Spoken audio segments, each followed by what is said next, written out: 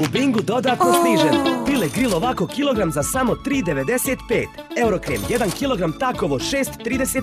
Posteljina 3 u 1 19,95. Bingo, kralj dobrih cijena. Dobro večer, poštovani gledalci Fejsa i slušalci radija Otvorena mreža. Pripremite se za jedno dugo i ekskluzivno Face i CD istraživanje najvećih tajni, dubokih intima, nestvarnih priča, političkih intriga. Večeras uživo sa dvije dame govorimo o hrabrosti, usudu, ženskoj petlji, o politici, kriminalu, o muškarcima, o stanaderima, pink panterima. Iz Zagreba nam je ekskluzivno došla gospođa Jadranka Kosor, bivša premijerka Republike Hrvatske. S njom razgovaramo odmah nakon ove najave. Iz Beograda nam je došla ekskluzivno gospođa Olivera Čirković, bivša premijerka Pink Pantera, najpoznatije svjetske grupe mm, otimača bogatstva najbogatijima. U CD-u gledate i slušate, a ne vjerujete šta o našoj zemlji govore lideri komšije i susjeda. To nije sve. Generalna najava može trajati i trajati. Žurimo jer dame ne smiju čekati. Pitanje za vas.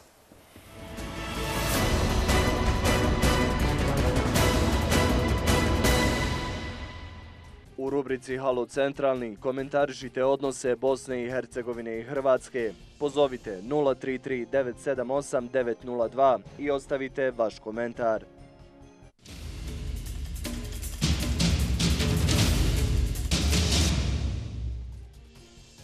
U centralnom pitanju vas pitamo. Ova naša država je luda kuća 096 24 0100 javna kuća 096 24 Glasati možete do petka 9. novembra do 17 sati.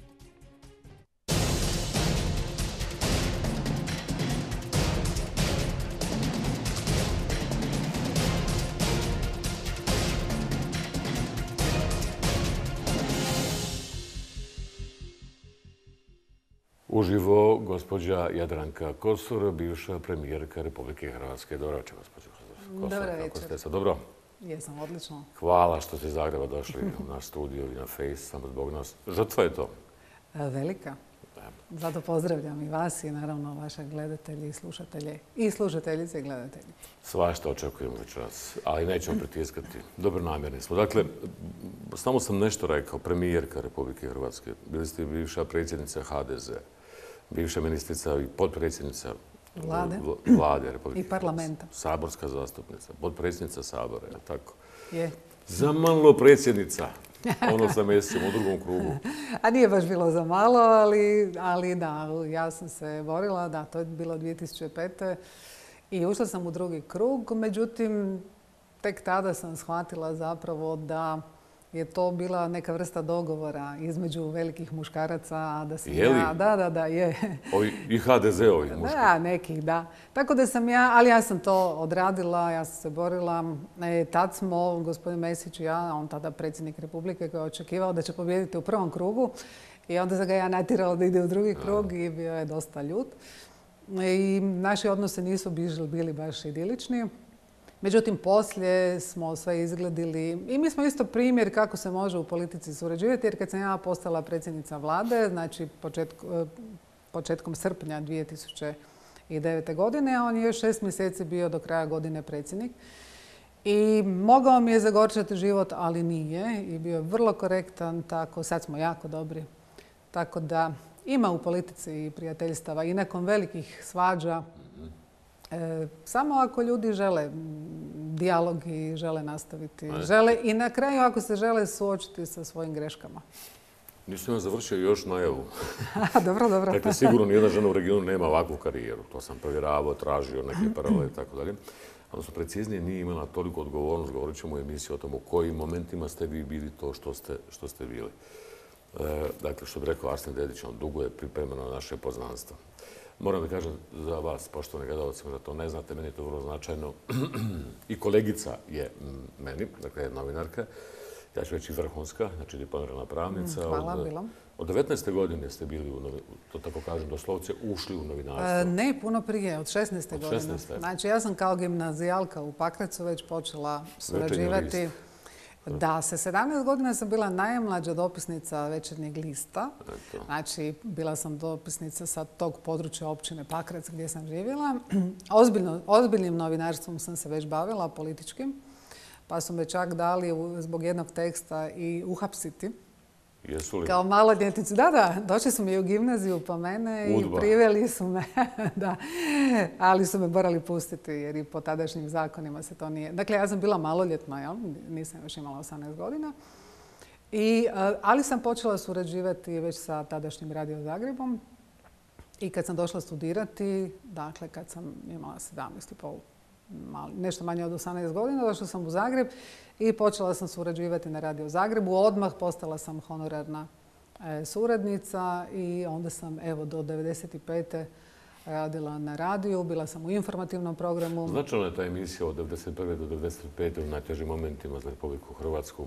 Ta emisija o, o prognanim ljudima. o Prognanicima, izbjeglicama i svima koji su stradali u ratu. Dakle, ja sam e, radeći tu emisiju koja, koja se dogodila kao nešto što je meni bio zapravo dar. Ja sam se u toj emisiji našla Našla sam se, to je bilo nešto za što sam ja živjela, to je bilo teško ratno vrijeme, iako sam ja radila u informativnom programu i za dnevne emisije, jel, informativne, ali emisiju sam radila svaki dan tjedno, osim jednog dana, osim utorka i Ne velja utorkom ništa raditi. Ži...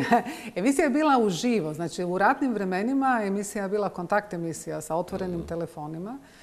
Pa i onda u vrijeme rata u Hrvatskoj, u vrijeme rata u Bosni i Hercegovini, mnogi su se javljali, ja sam Da, uspjevala spajati na, obitelji. na, na, na televiziji, To je- televiziji Bosne i Hercegovine. To je bilo ovaj, osobito slavno vrijeme. I Najvrijednije se. novinarske nagrade je dobila poštovani gledalci. Govori engleski i njemački, ili tako? Da. E sad da to... Mogu da zamislim to, a zamišljam više sebe. Novinar u politici, to jest novinar u vlasti. Kada uđe, mislim, uđe i onda je to švedski sto informacija, arhiva, tajni, zapisnika, Ne baš dokumenta. tako. Kako ne, ja ne bih odolio. Ne, gledajte, ja, kad sam ja ušla u politiku, ja mislim da je to uvijek tako. Zatvore se jedna vrata. Znači, zatvorila su se novinarska vrata i meni e, moje iskustvo u novinarstvu i činjenica da sam bila vrlo poznata novinarka koja je ušla u politiku nije koristilo da pače štetilo mi je u odnosu s novinarima. Mnogi su govorili od mojih tada novih kolega političara, lako tebi, ti si bila novinarka pa znaš kako treba s njima, ali meni mnogi novinari u Hrvatskoj nikad nisu oprostili što sam otišla u politiku. I znate, to je, jer je to ulazak u jedan novi svijet. Međutim, ja nisam nikad e, požalila jer sam u politici mogla ipak napraviti neke stvari koje e, u novinarstvu radeći recimo tu emisiju više ne bih mogla. Ja sam bila u, negdje tamo 95. vrlo popularna i počela sam se čak bojati tog, te popularnosti zato što su mi ljudi vjerovali, znači ljudi koji su imali probleme, prognani, izbjegli, invalidi, stradali, najteže kategorije. Beskrajno su mi vjerovali i to je bilo povjerenje um, koje je u jednom trenutku postalo prevelik teret za mene.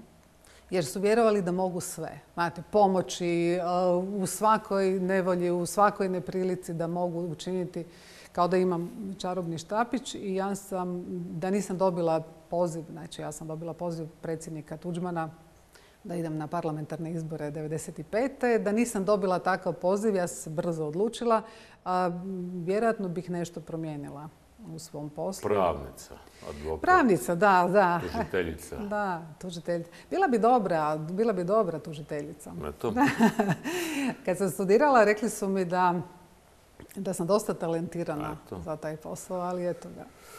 A, pre nego pređemo to region Bosna i Hercegovina, Hrvatska, mi, vi, oni, naši, Oni, Ana, naši. Oni. ovo, ovo je jedan, e, u pripremi emisije, detaljno sam to i dana radio, čitao, čitam samo.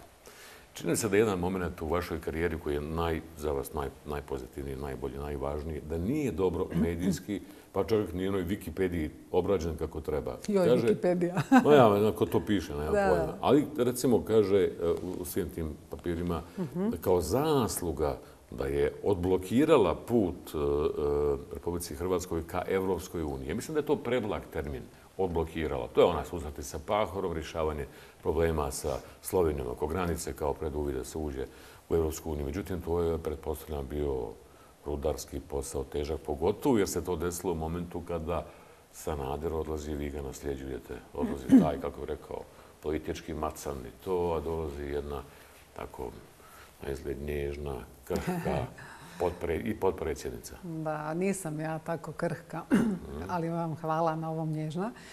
Da, ja sam dakle bila već tada 2009. kad je prethodnik, dakle Ivo Sanader, otišao iznenada bez objašnjenja javnosti, pa i nama, njegovim prvim suradnicima, jer ja sam bila i potpredsjednica vlade, ali i zamjenica predsjednika stranke, dakle zamjenica predsjednika HDZ-a.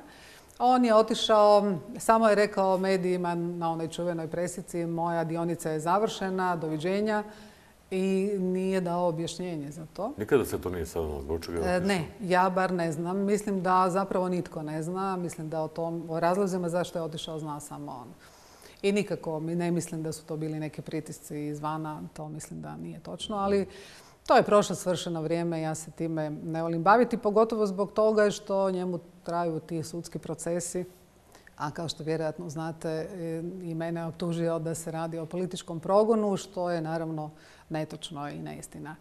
No, dakle, ja sam došla na čelo vlade u trenutku kad, kad su hrvatski pregovori bili beznadežno blokirani. Dakle, bez ikakve nade blokirani još od 2008. Ali ne samo zbog Slovenije. Recimo Slovenija nam je od 35 poglavlja koje smo imali za završiti, znači svako poglavlje je jedan beskreno ogroman posao koji se tiče nekog područja života i politike. Dakle, samo Slovenija nam je od 35 poglavlja blokirala 14. I kad smo se predsjednik Pahor, premijer Pahor i ja prvi put sreli 31 srpnja 2009. Dakle, par dana nakon što sam ja izabrana u Saboru za predsjednicu vlade, kad sam mu ja pokazala koliko, koliko vi nama blokirate, on je, on je isto stao i rekao je toliko, zar toliko? Međutim, i druge su zemlje, neke članice Europske unije imale e, rezerve oko suradnje sa Hagom. Dakle, to je to čuveno poglavlje 23 koje se odnosilo na pravosuđe, na reforme pravosuđa, ali suradnju s Hagom i e, jačanje vladavine prava, pravne države, ali i borbu protiv korupcije i kriminala. I meni je na, recimo, evo, reći ću vama tako nešto što je malo poznato u javnosti. Na prvom susretu u srpnju 2009. predsjednik Europske komisije tada Barozo, e, rekao nećete vi završiti pregovore, tko zna kad ćete. Da, rekao je, jer trebate najprije deblokirati pregovore. A ako to vaš prethodnik nije uspio, sumnjam da vi to možete. I? I ja sam mu tada rekla da, deblokirat ću pregovore i Hrvatska će završiti pregovore u mom mandatu. I to je ponovio 2011. u četvrtom mjesecu. Došao u Zagreb i rekao je, gospođo predsjednice, nećete završiti pregovore. Znači, 2011. je bila godina koja je izborna godina. Znalo se da se na kraju godine mora ići na izbore parlamentarne. Nećete završiti, prestanite o tome govoriti zbog sebe. E, situacija je takva, nitko nema previše interesa da, Hrvatska to završi. E, puno je posla još. Ja sam mu tada rekla ne, predsjedniče, Hrvatska će završiti pregovore i u lipnju 2011. bila sam pozvana u Brisel gdje su svečano objavili Znači on, Van Rompuy koji je tada bio predsjednik vijeća, Orban koji je bio na čelu, mm, čije, budući da je Mađarska bila na čelu tada Evropske unije i ja objavili su da je Hrvatska završila pregovore i 9. prosinca 2011. ja sam potpisala pristupni ugovor. Da li je tačno da ti tako toliko Barozo i ostali iz Europske komisije nepovjerljivi nisu nepovjerljivi, oprostite, nisu oni bili nepovjerljivi, nego, nego se njima činilo da je to jednostavno nemoguće u tom, da, nemoguća misija, jer se činilo, jer smo i dalje imali, imali smo dosta pitanja vezanih za suradnju sa Hagom. E, za suradnju sa Međunarodnim kaznenim sudom, zato što je glavni tužitelj, e, gospodin Bramerc, neprekidno i dalje od vlade, odnosno od mene, tražio Vjerojatno su mnogi vaši gledatelji i slušatelji čuli takozvane topničke dnevnike koji su bili vezani za, za suđenje generalu Gotovini. I međutim, ja sam, ja sam poduzela apsolutno sve da to nađemo. To se nije pronašlo. Pretpostavljam, da to zapravo i nikad u onom obliku u kojem je glavni tužitelj to tražio možda i nije postojalo, zato što su oni to tražili prema nekim NATO standardima, jel? Mhm. te topničke dnevnike. U svakom to je slučaju... u tekama bilo. Da, sve je što se, ali u tom razdoblju se sve e, što se moglo loše dogoditi dogodilo. Dakle, A kako ste uspjeli da ipak e, preskočite takve? Nismo ništa preskočili, nego smo jednostavno uspjeli, uspjeli uvjeriti i njega i njih da je to, da, dakle, da mi u potpunosti surađujemo. Politika objeđivanja, nemamo e, zaista. To je politika, međutim, i uvjeravanja argumentima. Znači, morate, morate raditi, ali da biste mogli uvjeravati nekoga u svoje argumente, morate užasno puno raditi. To se mora vidjeti.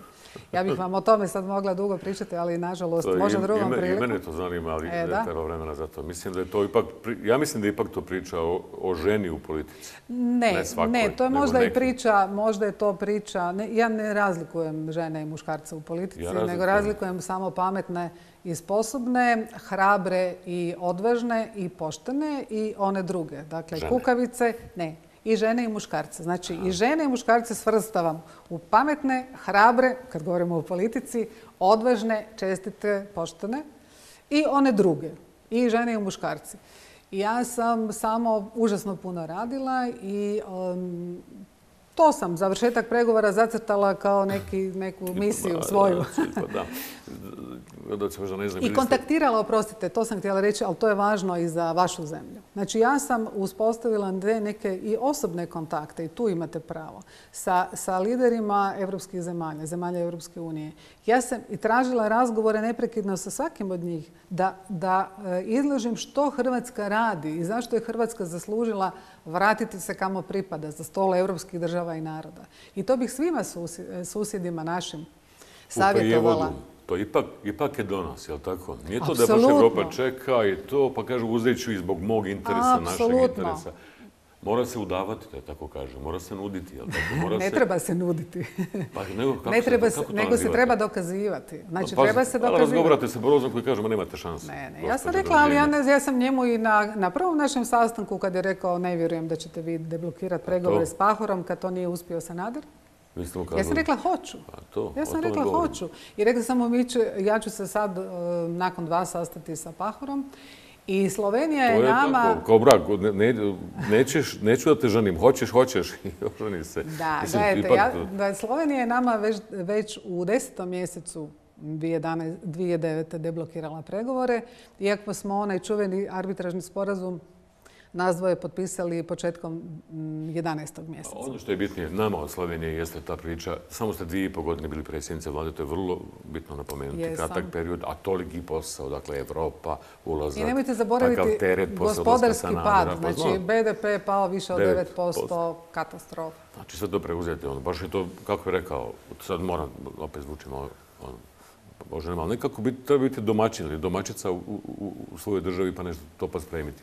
Šta je bitno za Bosnu i Hercegovinu, jedan razloga zbog čega vas zovemo, a spajamo i tu prošlost i, vašu vladavinu, po znacima navoda, i ono što se danas dešava. Kako to da ste u tom haosu, te dvije i pol godine vlasti, samo, tako kažem, vlasti, uspjeli da prema Bosni i Hercegovini ipak izgradite nešto što je, gledamo s perspektive, to tada možda malo manje, s poštovanjem. Kako to da ste uspjeli, recimo, da uh, u Saboru uh, nametnete, da bude usvojena E, predložite deklaraciju o našoj državi koja još uvijek važi, a to je pitanje šta je s njom.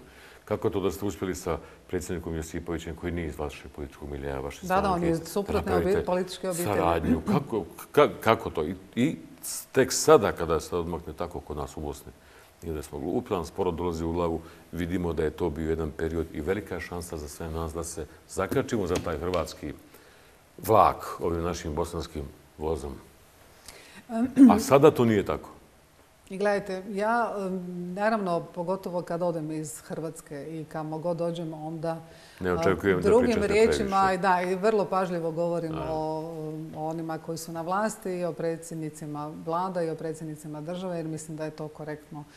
E, međutim, e, međutim, činjenica i ne bih se uspoređivala i ne bih uspoređivala to vrijeme, nego bih samo evo, odgovorila na vaše pitanje kako to. Dakle, gospodin Josipović kao predsjednik Republike Hrvatske i ja smo bi došli iz različitih, kao što ste rekli, političkih obitelji i u mnogo stvari se nismo slagali. Ali smo često puta isticali i to ističemo i danas. Recimo oko Bosne i Hercegovine i kako se Hrvatska kao susjeda sa najdužom granicom jel, prema Bosni i Hercegovini treba odnositi, tu smo imali gotovo identična stajališta. I kad god smo bili, nekad smo bili o takozvanim velikim fajtovima. Ali kad je, kad je uslijedila neka kriza gdje se očekivalo da mi nešto kažemo, mi smo uvijek se sastali i usuglasili stajališta. Ta deklaracija koja je malo poznata i hrvatskoj javnosti, nažalost, a ja mislim da je nakon mog odlaska pa onda nakon njegovog odlaska su sve vlade i poslije predsjednici trebali raditi upravo na tom dokumentu jer je on, jedan, koliko se sjećam, jednoglasno usvojen u Hrvatskom parlamentu. On je obvezujući za sve vlade i za sve buduće predsjednike. I odličan za obje države. Jasno. I to je dokument na kojem smo mi radili i nas dvoje, ali i naši najbolji suradnici, savjetnici za vanjsku politiku. I on govori kako bismo se mi bez patroniziranja, ali vrlo zainteresirani e, za susjeda s kojim ćemo zauvijek ovdje živjeti. Ja mislim da mnogi političari u cijelom ovom prostoru nis, kao da nisu svjesni ili ne žele priznati, pogotovo kad su na vlasti, da ćemo mi zauvijek ovdje živjeti. I ja mislim da treba polaziti od toga. Susjede ne možemo birati. Ovo je naša sudbina. Ovo je naš svijet. Nitko nas bolje ne poznaje od naših susjeda. Ja mislim da nitko prilike u Bosni i Hercegovini ne može tako dobro razumjeti ili svakako bolje, sad govorim iz pozicije Hrvatske kao članice Europske unije. Ni jedna zemlja članica Europske unije, ni jedan političar u zemljama članicama Europske unije ne može tako dobro razumjeti Bosnu i Hercegovinu, tu divnu zemlju, kao što je mi razumijemo. I zato ja očekujem da se vratimo toj deklaraciji u potpori čemu? E, kao što se tamo govori, euroatlantskom putu Bosne i Hercegovine. Ono što mi možemo, mi danas kao članica Europske unije bi trebali postati i meni je kad kad žao što od ulaska 1. srpnja 2013. se Hrvatska nije bolje pozicionirala kao, e, kao lokomotiva kao onaj koji će, koji će motriti dobro, ali vući e, susjedstvo, znači cijelu regiju, e, savjetima, e, ponavljam, nikako patroniziranjem i iznos, dolazeći sa svojim nekim rješenjima. Čak i iz svog interesa. Da, to je još jedna posebna priča. Nego, nego potičući potičući one koji su odgovorni za državu, u ovom slučaju odgovorni za Bosnu i Hercegovinu, e, da e, skupe uvijek malo više hrabrosti. Ja mislim da u politici sve ovisi o toj hrabrosti. Mhm. Da se izložiš, da ideš sa prijedlozima za koje si siguran da će biti dobar za narod, za narode, za državu, a da možda neće u prvom trenutku biti baš dobri za tebe i da možda neće biti e, najbolje prihvaćeno kod svih. Ako si, ako si siguran da je to dobro. Što hoću reći? E, razgovor, ja ću reći, vi ste platili cijenu toga. Molim? Ja? Vi ste platili cijenu. Da, jesam, da. Vi ste tu radili sve za Hrvatsku i onda ste nakon toga zbrisali sa političke scene. A pretpostavljam da ste znali to, da, da vas to... A jesam i nije mi žao. Dakle, nije mi žao. Zaista mi nije žao kako god vam to sad možda zvučalo kao demagogija. Ne zvuči, ali ja mislim, zvuči mi kao žrtvovanje. Nije mi žao jer evo vidite, um, ne biste me vi pozvali u emisiju. tako me i mnogi zovu. I um, kamo, god dođem, kamo god dođem po cijelom svijetu, puno me zovu kao bivšu premijerku da govorim i o Hrvatskoj. Svi znaju ove podatke koje ste vi iznijeli i to se kad kada naravno uvijek više vidi. Svi znaju osim u Hrvatskoj i u Bosni. A dobro, i u Hrvatskoj sada ovaj, ima puno onih koji doslovce trče za mnom i kažu predsjednice hoćete li se vratiti, ali znate da je to jako teško. Jednom kad odeš, pogotovo kad te zbrišu, kad ostaneš bez mhm. stranke na vjetrometini. Ali kažem vam, nije mi žao, zato što e, mislim da zahvaljujući zaista jednim velikim dijelom i toj mojoj upornosti i toj, i toj mojoj srčanosti, na kraju neodustajanju i hrabrosti. Dakle, ja sam donosila neke odluke koje nisu bile mislim ja, moja vlada koju sam vodila u borbi protiv korupcije i kriminala. Znate, to je, To su bile teške odluke u Je smislu... to prejednostavljeno ako se kaže dozvolili ste, ako već niste, neki Ne. su tako i napisali da se uhapsi Sanader. Ne, ne, potpuno krivo.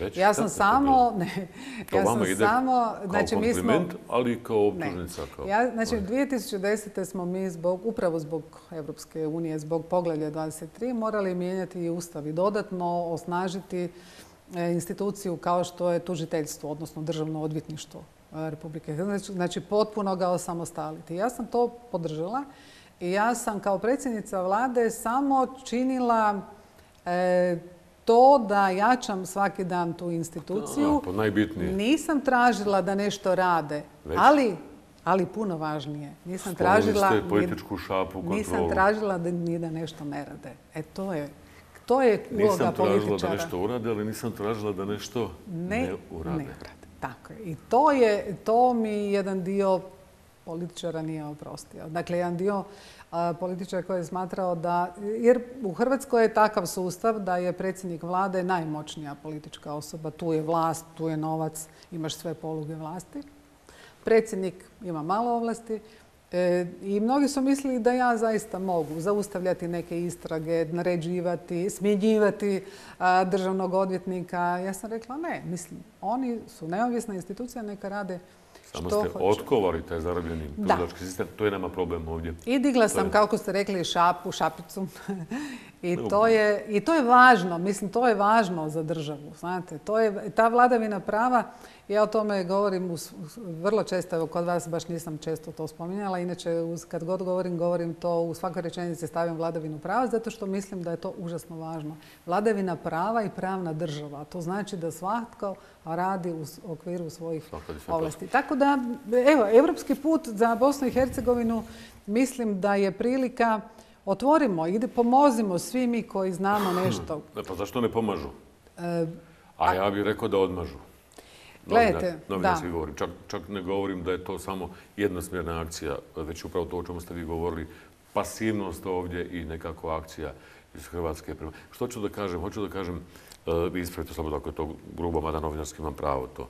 Vi ste, dok ste bili na vlasti, kontaktirali, komunicirali, razgovarali sa državom Bosnom i Hercegovinom, tim institucijama. isključivo, isključivo, isključivo sa državom sada Bosnom i nemamo blago Hercegovinom. rečeno ni, tu komunikaciju na Da, tom ja, sam, ja sam smatrala da ja, vjerojatno u tome je nešto pomoglo i moje pravno obrazovanje, znači vjerojatno, zato što ja smatram da je to užasno važno držati, se, držati do institucija, a, njegovati institucije. To je važno u svakoj demokraciji. Ali ste jer bili, ali ste predsjednica stranke HDZ koja se i prije vas i poslije vas optuživala da ima neke te kakve nakane prema Bosni i Hercegovini, treći entitet direktan, to patronizacija o kojoj govorite i tako dalje. Vi ste to tako elegantno damski, kako bi rekao, gospodski, to, to, to uradili. Zašto je to sada danas tako, nažalost, moram, moram da govorim o tim aktualnim temama, zašto je danas tako aktualno, kako bi, danas je kazala gospođica predsjednica, gospođa predsjednica, ne miješam se unutrašnje stvari Bosne i Hercegovine, ali izborni zakon je neustavan. To znamo svi. Svaku noć pričamo o tome da, da, da da, je to da. tako. Međutim, e, ovo je rečenica koja je bolna, a niko je nije prenio e, tako.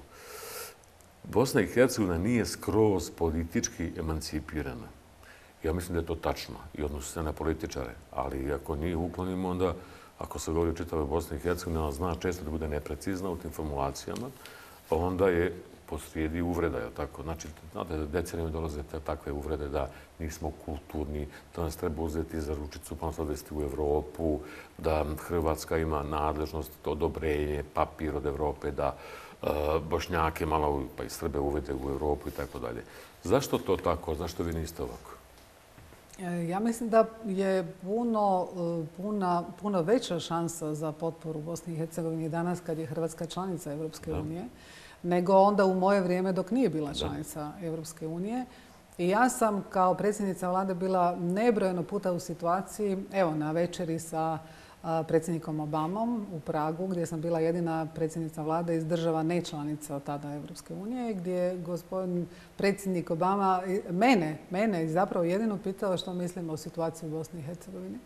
Razgovarali ste vas dvoje. Da, da. To je miješanje unutrašnje stvari. Ne, ne, to je, što mislim kao prije. Ja sam tada govorila stvari koje govorim i danas. Znači da, da, da, da je to zemlja koja apsolutno zaslužuje euroatlantski put, e, da moramo svi pomoći, da Hrvatska tu naravno ima obvezu što i danas govore političari u Hrvatskoj i to je točno. Članak 10. Ustava Republike Hrvatske kaže da se mi moramo brinuti o Hrvatima koji žive izvan Hrvatske. Kao potpisnica Dejtonskog sporazuma, apsolutno. Međutim, ono što je činjenica i to bi, to bi trebalo, o tome bi trebalo govoriti, da, što sam malo prije rekla, u toj Europskoj uniji, a mislim da je to da je to jedini pravi put za ovu zemlju. Znači, učiniti sve da se otvori ta perspektiva što je moguće prije Malo znaju. Mislim, malo su znali u vrijeme pregovora je u Hrvatskoj, vjerujte. Nitko nije bio zainteresiran. Bila je ekonomska kriza. Nitko nije bio zainteresiran, pogotovo što je Evropska unija imala dosta loša iskustva sa onim zadnjim priključenjima nekih zemalja. Pa da ste vi zaboravili kako ste pomogli Bosni i Hercegovini? Pokušali da pomognete? Dali? Darovanjem, da, prijevoda Kija. znači, to je dokument od 30.000 stranica, je To je, da, dokument koji košta 8.000 eura. 8 milijuna eura. 8 milijuna, pardon, 8, milijuna, da, da, da, da, 8 milijuna, krivo sam rekao. Koštao prijevod da se prevede na hrvatski. I onda ste vi to poklonili, tada je bio e, Špirić. da, da. I mi smo održali prvu Poklonili, znači na hrvatskom smo mogli, koji ne razumijemo inače ovdje, onako ali mogli smo znači, na hrvatskom da vidimo šta nas čeka. Tako je.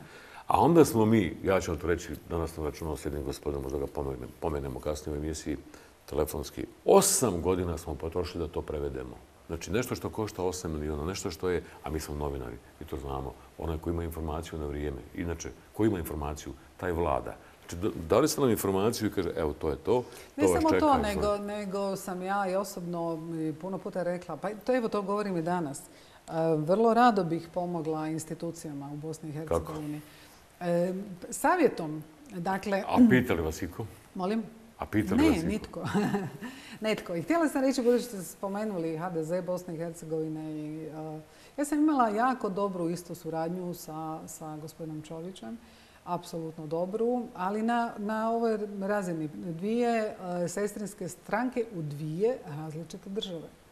Dakle, u dvije susjedne države. Jel? E, I, I sa mnogim, evo sa gospodinom Špirićem sam imala odličnu suradnju, odlične kontakte. Ovdje je održana i sjednica dvije vlade. To je prva sjednica. I to je, ja ne bih sad mogla 100% tvrditi, ali mislim da da. I očekivalo se da se taj trend nastavi. Predsjednik Josipović je tada, 2010. mislim da je to bilo, održao jedan govor u vašem parlamentu koji u jednom dijelu baš nije bio dobro prihvaćen u Hrvatskoj što se tiče opće javnosti. Međutim, on je, i to se mora vrlo, vrlo iskreno ponoviti, pošteno, on je u tom govoru spomenuo i dobru suradnju, sa mnom mene osobno spomenuo, na, na pitanjima potpore Bosni i Hercegovini. Znači uvijek potpora Bosni i Hercegovini na njenom putu i oko izmjena, i tamo se spominje, i izborno, izbornog zakona. Sve su ovo stare sve Se to, da, to, znači sad kad sam ja gledala malo isto pripremajući za, za vašu emisiju, pa sam to ponovo išla čitati, mislim sve je to već davno smo mi rekli, napisali i obvezali se. Malo je to nekako stalo. E, ja mislim da, da u tom smislu ne treba naravno zaboraviti ni ovdašnje političare, i ne bih sad uopće komentirala niti rezultate izbora, jer to bi bilo opet moje neko miješanje u unutarnje stvari. Mi svaku noć komentarišemo, pa ne e. znamo više što ćemo od komentara. Ali, nekako očekujem. Možda, možda svim tim, ja, ja sam i rekla poslije u jednoj, ja sam rekla da gospodin Čović, evo njega najbolje poznajem, ima sada povijesnu šansu. Dakle, povijesnu šansu političku da se zaista izdigne i u državnika. Bez obzira na to što je izgubio u tim izborima za predsjedništvo Bosne i Hercegovine. Da, da otvori dijalog ili da, da se otvori dijalog i da u tom dijalogu sudjeluje sa svim ostalim i izabranim članovima ali i sa drugima koji su zainteresirani. Mislim da bi to, s obzirom na njegovu poziciju, mislim da razumijete što govorim, dakle na njegovu poziciju i na rezultate, e, opće rezultate izbora. I neću dalje jer bi to opet bilo slobodno, tumačeno. Mislim da je to velika šansa. Možda im treba... treba čovjek da uradi. a sada je optužen, to da znate, da je optužen od medija, od politike, čak i od političkih partnera, da blokira Bosnu i Hercegovinu, da ima plan A, B, C, da ruši Dayton, da protuustavno djeluje i tako dalje. Ublažimo to i recimo da je to povrijeđenje nakon gubitka na izborima Komšić, jesu li Pa dobro, i gospodin Komšić mislim da nije trebao, ako smijem reći nešto, nijedna od prvih njegovih izjava možemo tužiti Hrvatsku zbog Pelješkog mosta. Pitao sam ga, to mi je bila prva izjava. Nije to trebao, to ne treba, ali možda je on. E, vidjet ćemo sada neka pokažu liderske sposobnosti. Neka kako? pokažu... Treba im reći kako. Ja, što bih ja rekla, napravila? Ja bih na mjestu gospodina Komšića ili gospodina Čovića pozvala tog drugog na razgovor, na kavu.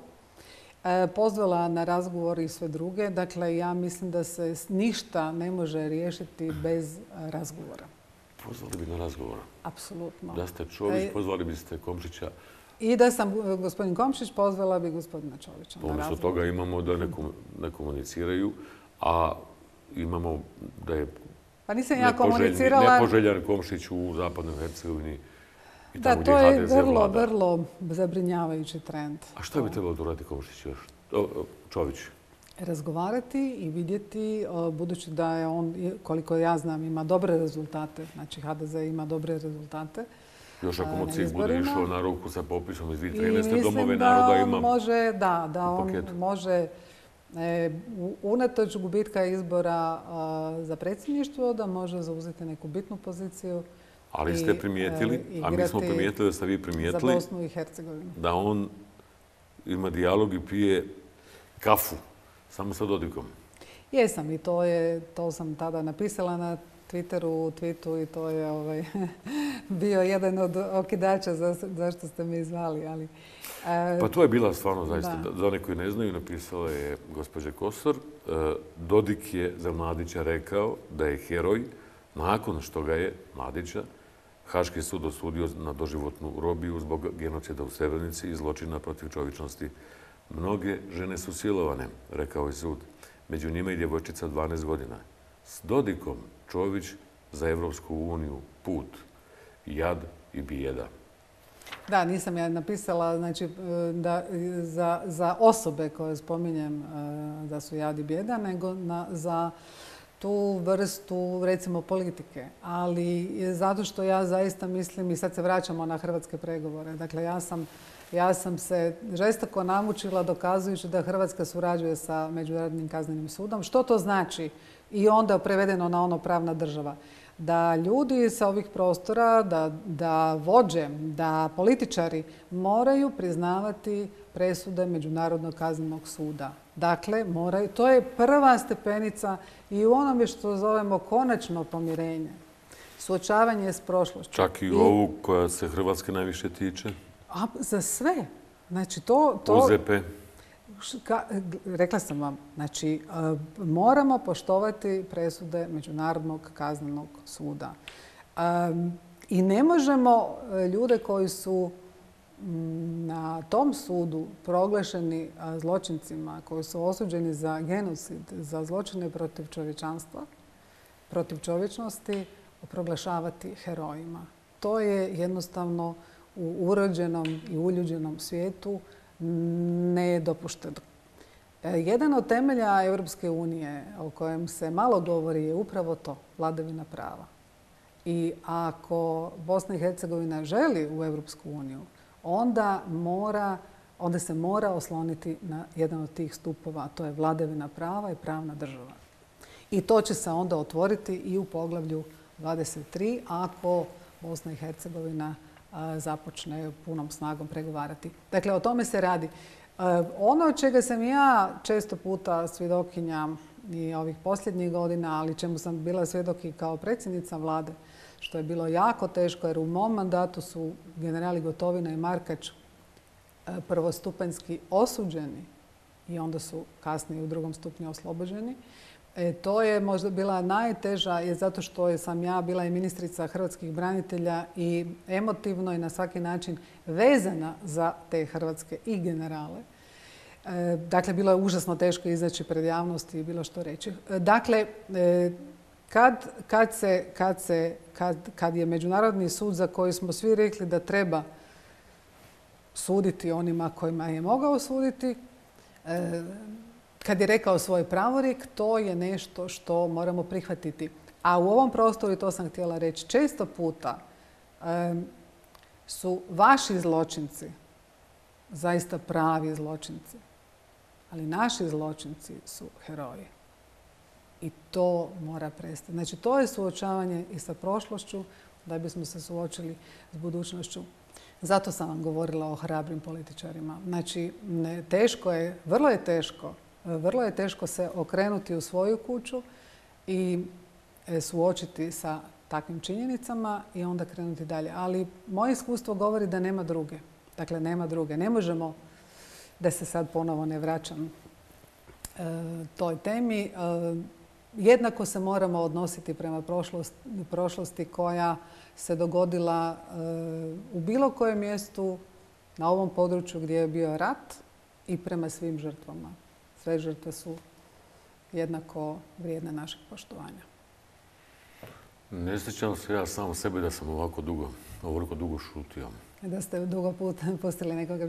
A gledajte, ja se, sada, ja se sada vraćam... S kojom energijom i na koji način i kojim rečenicama? Zato što to zaista, mislim, gledajte, Evropska unija, čija je članica Hrvatska, želimo da postanu i Srbija, i Bosna i Hercegovina, i Makedonija, i Crna Gora. E, članice je kako sazdana? Dogovorom Njemačke i Francuske na početku. Tako je krenula Evropska zajednica.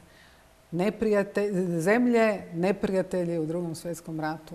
Jedna je poražena, druga je na strani Najveći broj žrtava između dvije države Ikada, da, da. I, i, i, Prvog dana u Prvom svjetskom ratu poginulo je 47.000, pa je francuski general rekao, to je prvi dan to je prvi Sutra će biti bolji. Da, da, da. da. To, to mi zaboravljamo. Ali oni kad su, pisali, kad su pisali te prve dokumente, bilo bi dobro da to političari u ovoj regiji pročitaju i da to nauče na pamet. Šta su oni pisali? Zašto se to, zašto sklapaju takav dogovor u koji onda uključuju druge zemlje? Zbog trajnog mira i stabilnosti koji vodi prosperitetu naroda i država.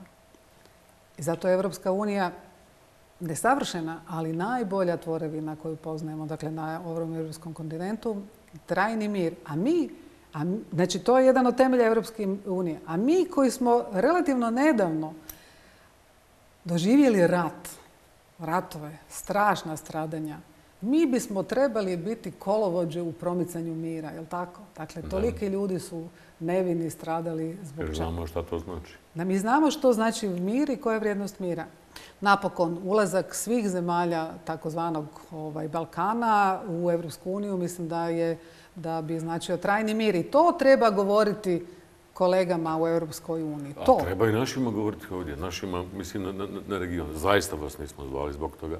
Vi znate, vjerujete me da, da, da, je, da je iskrena namjera, ali moramo da, da govorimo o tome.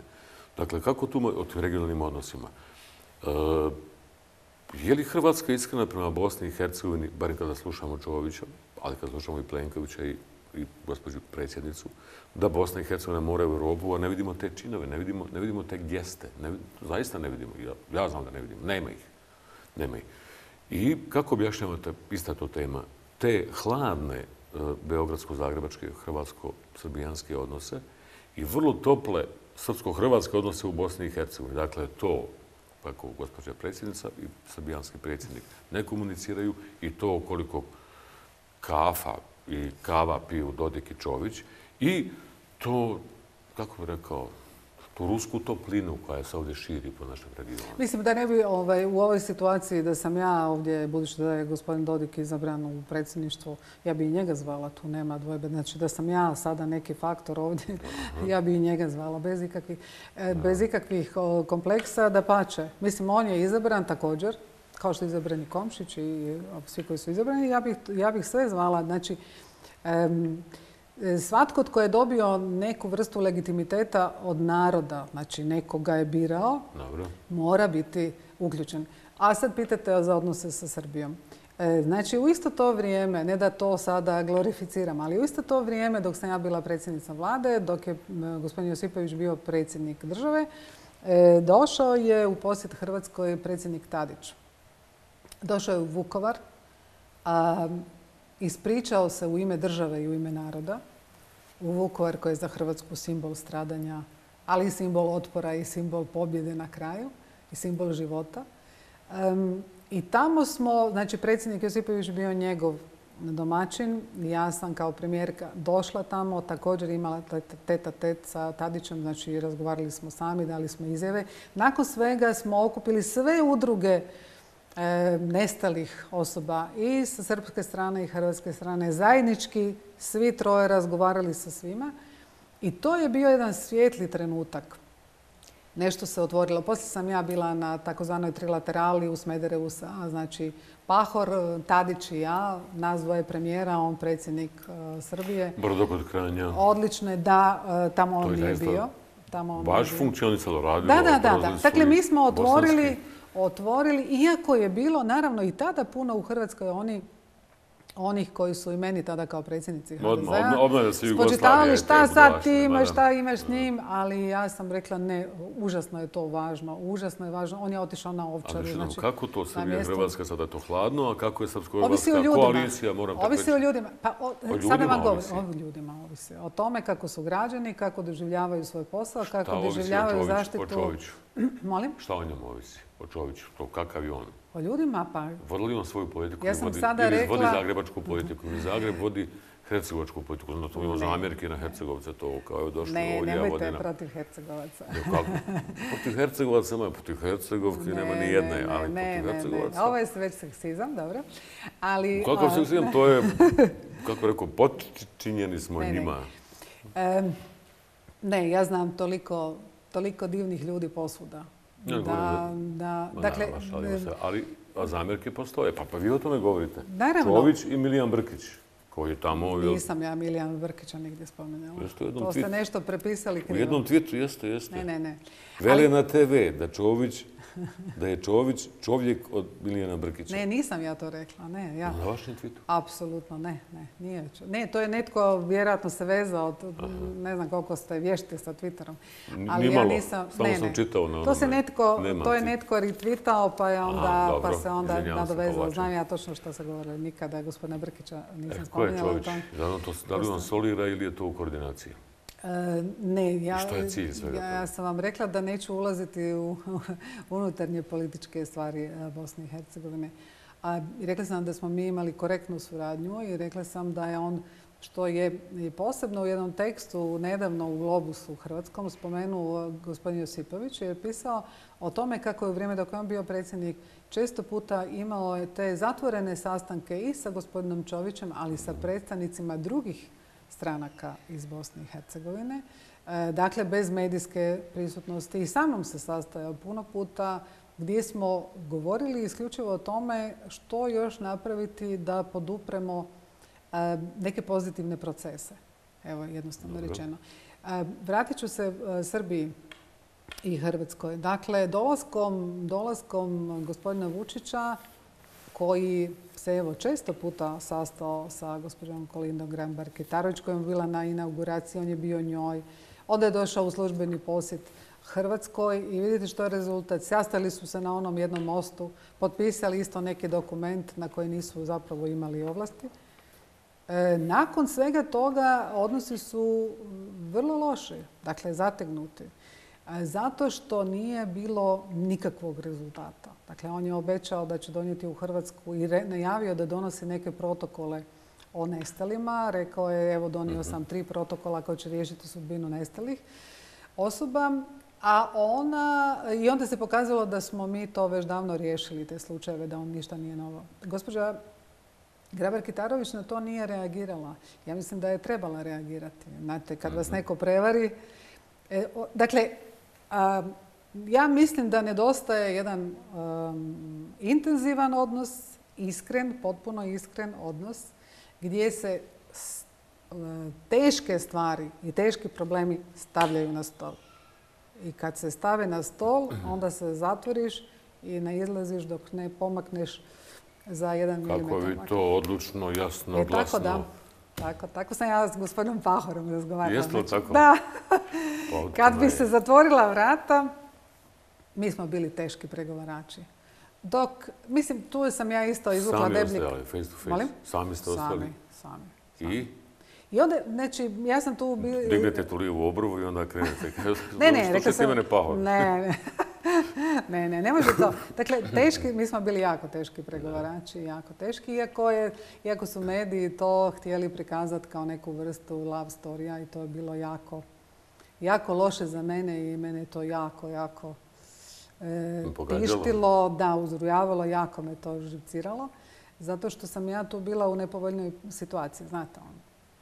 Jer su mediji, e, budući da je on bio muškarac, ja sam bila žena, on je bio premijer, ja sam bila premijerka. I to su mediji često puta izvrtali na jedan krajnje nedopušten način. Evo, sjećam se jednog priloga na nacionalnoj televiziji sa jednog našeg susreta koji je bio vrlo, vrlo napet i vrlo težak, gdje smo jako teško se pomaknuli za, za možda ni za milimetar. Nakon toga ide prilog na nacionalnoj televiziji gdje govori danas su se sastali predsjednica vlade Republike Hrvatske, predsjednik e, vlade Republike Slovenije i onda prikazuju kako se mi smo se sastali pa smo se izljubili pa to onda vraćaju nekoliko puta kako smo se izljubili. Mislim, kao svi se, svi se po svijetu ljube kad se državnici kad se sretnu, a ispod cijelog priloga ide glazba iz filma Love Story. Ja sam smatrala da je to krajnje, recimo, nekorektno. I onda sam to i rekla. I rekla sam, nemojte to više raditi. Ja ovaj, to neću. To ne moram trpiti. To je nije duhovito. Nije ni duhovito. Pa jel da nije? Nije, nije. Pol. Pa, nije. Novinari smo pa možemo tako da to. Ja to nikad ne bi napravila. ako se šalimo, onda ka, e sad malo, malo karikiramo Pa da, ali ne možete u informativnom programu, informativnoj emisiji gdje trebate reći što smo mi na kraju, jer smo mi izašli poslije pred novinare i vidjeli se, vidjelo se da smo oboje ljuti i dosta smrknuti. I što ti tu inzistiraš ali na... Ali politika je zagrlja i poljubac. ali zagrlja i poljubac pomažu.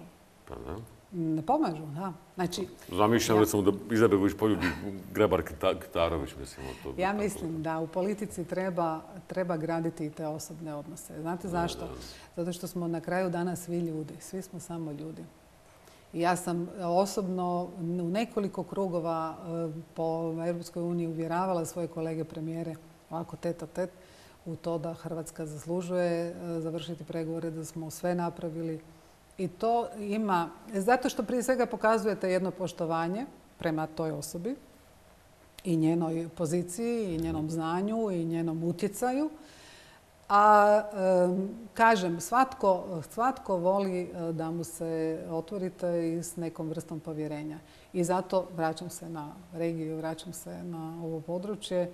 Ja bih apsolutno inzistirala da svi ti ljudi o koje smo spomenuli sjednu, pokušavaju sjediti, pokušavaju se nalaziti, pokušavaju nemaju, kontakt ni u, zemlji, a kamoli sa komšijama i susjedima. A možda im treba neki medijator, možda im treba netko tko bi Ova, Ovakva Evropa im treba, taman. Pa zašto mi ne bi susjedstva pomogli? I to je, da, da negdje pred kraj nekako to izbrusimo ovu priču. Evo samo par pitanja. Dakle, vi ste to radili što ste radili, vodili Hrvatsku i uvjerili u Europsku uniju i vodili računa i kako je povlačili za sobom i na tom nivou državnom komunicirali sa ostalim državama regiona.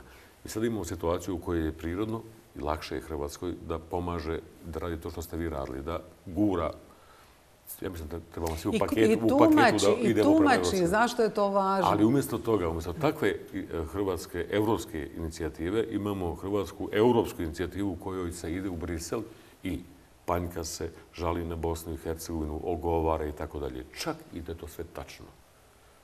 Nije susjedski, nije dobro susjedski.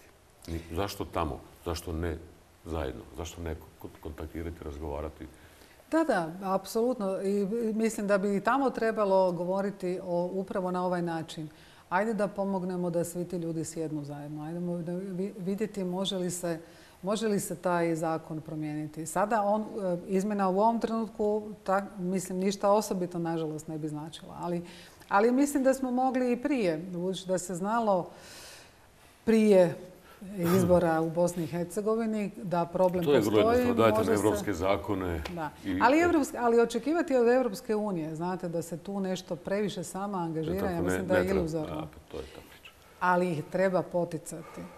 Zato što nisu zainteresirani. Gledajte, njih- ja mislim da e, postoji neka vrsta zamora za proširenje i da ove priče o tome da jednog dana svi Da, moramo treba biti i probuditi tako dalje. birokratski uspavani Treba, tako je, treba koji razgovarati. imaju plate, treba, da, imaju u treba ih dovoditi hotele, imaju dnevnice, imaju sve da. imaju plaćeno. I trebamo mi ovdje nešto. Ja se nadam da ću ja sa svojim evo, kolegama koji smo povezani, dakle bivši premijeri i predsjednici država iz ovog iz ste u regija. kontaktu, Jesam, odlično Tadićem smo u kontaktu, sa, Pahor, sa gospodinom Vujanovićem. sa Filipom Vujanovićem. jako dobra, da, i Buga- sad smo se bugarski nastavili. premijer.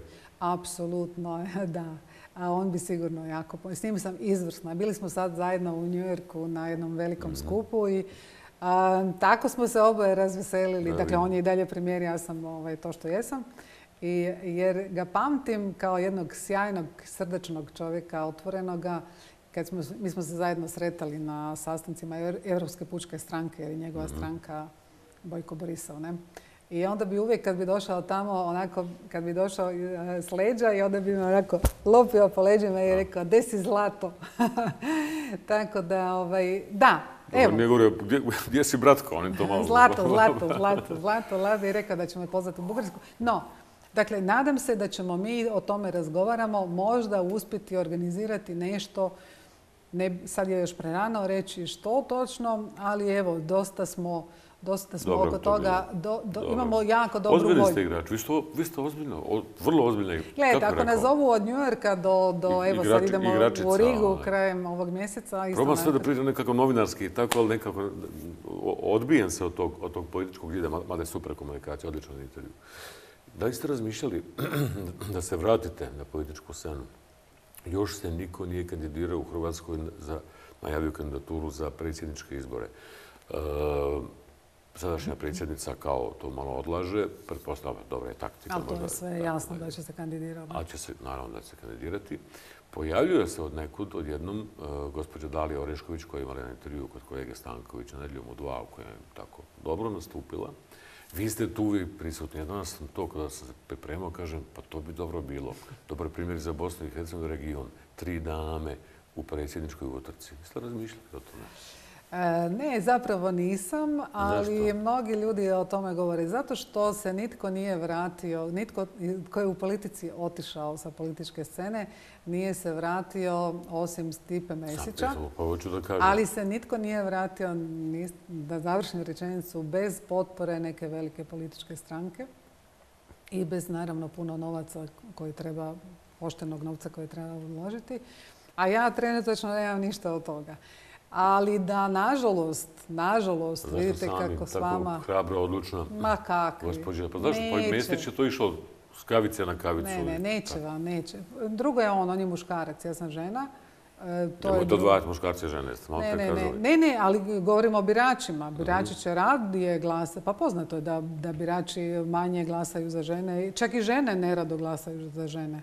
Jer misle da je muškarci, da je to njihov posao, muški, ne. Ali, tako, iako ima puno ljudi koji govore dajte se vratite, glasat ćemo za vas, a neće. Na kraju će glasati za velike stranke, znate, to je tako. Ali da me, nažalost, taj taj nerv i ta strast, kao što vidite, za politikom nije pustila, nažalost, nije. Vi ste u top formi, političkoj, intelektualnoj i to bi trebalo iskoristiti. Hvala vam lijepa. Hoću da zaključim s ovom pričom i zbog toga sam razgovarao sa vama. Osam ili devet intervjua sam imao sa predsjednikom Mestićem, tri sa predsjednikom Josipovićem. I zaključio sam, ne samo na osnovu hrvatskih predsjednika, sa Tadićem sam imao intervjue, tako sa srbijanskim predsjednicima, crnogorskim, sa Đukanovićem. U stvari, kakvi su lideri, takvi su nam narodi. Hoću da kažem da su relacije između Hrvatske i Bosne i Hercegovine bila vrlo, vrlo relaks u tim periodima kada je Mesić bio predsjednik, u, zato, u, to, u tim godinama kada ste vi bili premijerka, u tim godinama kada je Josipović bio predsjednik. Dakle, potpuno ne, ne sadašnju Ništa ne, postavu. da. Ali zaista je to bilo, od ozgo se to opušta, relaksira. To sa Srbijom je bilo kada dođe Tadić, kada ode u Vukovar. Znači, to je apsolutno opuštanje. Da. Đukanović koji sada stalno pominje Bosnu i Hercegovinu kao glavni, veći, prioritetniji problem od Kosova i tako dalje. Tako da u tom kontekstu nam trebaju tako lideri koji će relaksirati narode. Da, zato što narod, ljudi, običan svijet koji živi teško, gledaju u lidere i ljudi su, ja mislim, jako željni lidera. A što zapravo znači lider? Onaj koji može voditi e, i koji, ponavljam ono što sam malo prije rekla, koji je spreman žrtvovati svoju političku karijeru i sljedeće izbore e, ako je potpuno uvjeren da radi nešto dobro za ljude, za narod.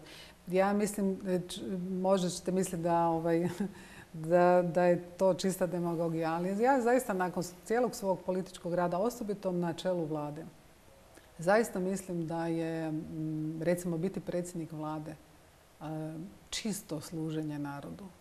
Ništa drugo. Ja sam radila po 16 sati dnevno, nisam se obogatila, nisam, nemam ni kuće, ni vile na moru. Ali je to posao koji se moraš potpuno posvetiti i fokusirati i to stvarno jest rad za narod. Ljudi onda gledaju, a pogotovo kad dođe do nekog, neke vrste dijaloga među onima za koje narod smatra, građani smatraju da su krvni neprijatelji. I to djeluje relaksirajuće, i to djeluje opuštajuće, i to, to vuče naprijed. Tu se onda stvara ta energija koju možete ugraditi u reforme, u teške odluke, koje će se vidjeti za deset godina. Mi svi na ovim prostorima nismo navikli misliti ni dvije godine unaprijed. A kamoli planirati nešto što će biti dobro za 10, za 20, za 50 godina. To je nama jednostavno nepoznato. To drugi narodi rade. Tako da imate pravo. Građani, građanke, narod gleda u one koji su im vođe ovog naroda, onog naroda, ove države, one države. I zato je odgovornost političara golema. Ali mnogi toga ili nisu svjesni ili ih uopće nije briga. Hvala, gospođo profesor. Hvala, vam lijepa. Hvala vam na dolazku na ovim velikim riječima. Odlične su lekcije bile. Ko hoće da sluša i da posluša u korist države i naroda. Odlično. Jadranka Kosor, bivša premijerka Republike Hrvatske, predsjednica HDZ-a i još mnogo toga. A, ona meni drago, i bivša kolegica. CD za par minutica.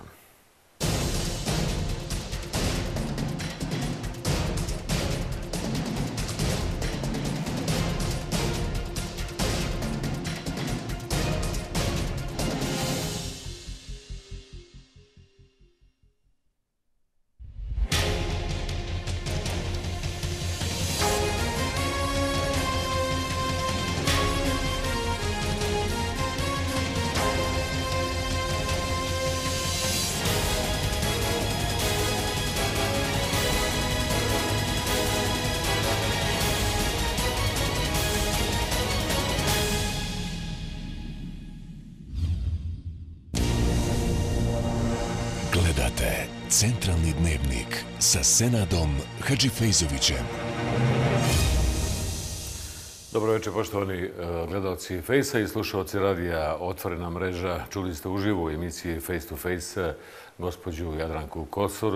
Odnosi Republike Hrvatske i Bosne i Hercegovine moraju biti odnosi dvije suverene države dobro susjedski. Treba razgovarati.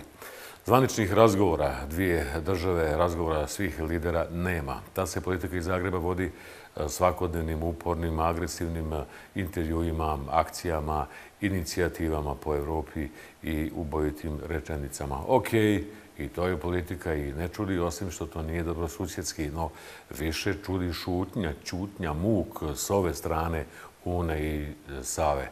Takva pasivnost ovog hrvatskog komšije ne može se nazvati drugačije nego eutanazijom, dobrovoljnim samousmrćivanjem.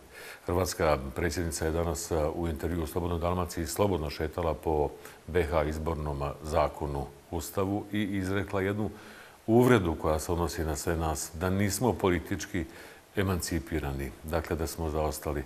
No, ova rečenca je tačna ako je mislila na sve BH lidere. Slažemo se predsjednice, kraljice Balkana, svi nacionalni lideri u ovoj zemlji i srpski, i bošnjački, pa i hrvatski su zatucani. Je li ovo seksizam? Moram reći da sam stvarno zabrinuta zbog Bosne i Hercegovine. Nije mi namjera miješati se u unutarnji ustroj Bosne i Hercegovine. To je stvar odnosa između izabranih predstavnika naroda. Međutim, prava naroda, građanska prava, jamstvo mira, sve obaveze koje je Hrvatska preuzela nisu samo unutarnje pitanje Bosne i Hercegovine. To su i naše i obaveze međunarodne zajednice. To su i obaveze koje moraju ispunjavati države članice Evropske unije. A kao što znamo, Bosna i Hercegovina je podnijela zahtjev za članstvo u Evropsku uniju. Dakle, morat će se suočiti sa činjenicom da će biti predmet svih postupaka provjeravanja i ispunjavanja mjerila kakve smo i sami prošli. Iskreno rečeno, Bosna i Hercegovina, neka se nitko ne uvrijedi, nije skroz politički emancipirana. Sve dok gospodin Valentin Insko kao visoki predstavnik međunarodne zajednice donosi odluke u Sarajevu. Apsolutno odbijam bilo kakve optužbe o miješanju unutarnje stvari zbog traženja izmjena izbornog zakona, jer upravo je sam Ustavni sud Bosne i Hercegovine donio odluku da je izborni zakon neustavan. Prema tome, sve što tražim jeste da se taj zakon uskladi sa Ustavom. Kako će to učiniti? Njihova je stvar. U to se ne namjerava miješati, kao ni u bilo kakvo sastavljanje vlade i drugih tijela. Valja naglasiti da Hrvatska nije jedina koja traži promjenu izbornog zakona. Stoga ćemo zajedno sa drugim državama koje inzistiraju na promjeni zakona od članica Evropske unije do SAD-a inzistirati na uspostavi funkcionalnih i legitimnih vlasti na dobrobit sviju u Bosni i Hercegovini.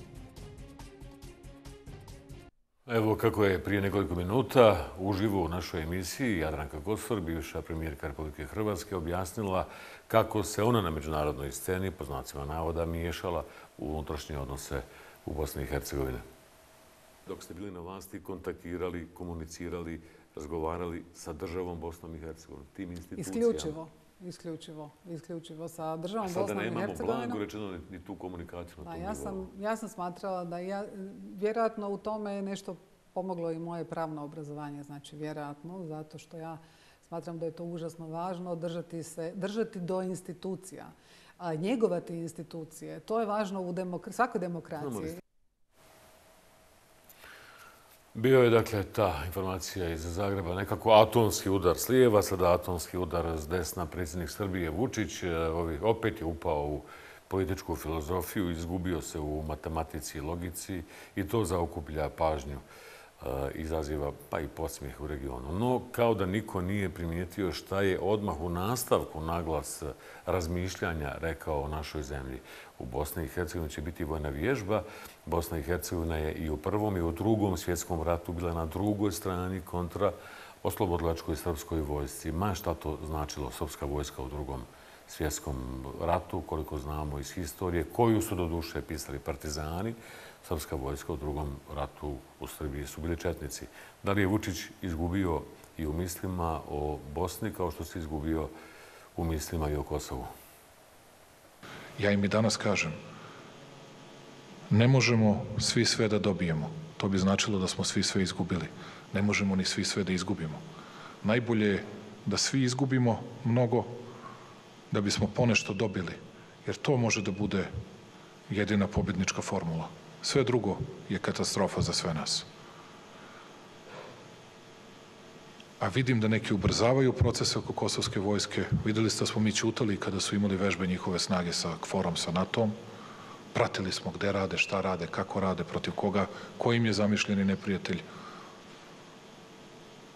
koje su, na kojim su vežbama naročito insistirali. Pratili smo šta je radila Hrvatska, ni reč nismo rekli suvereno pravo te države da radi svoje vežbe. Bosna i Hercegovina će da ima uskoro vežbe, mislim dan ili dva pre nas.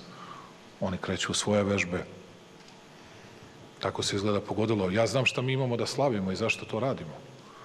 Ne znam baš šta, šta neki od njih imaju da slave, pošto nisu bile sile pobednice u Prvom svetskom ratu.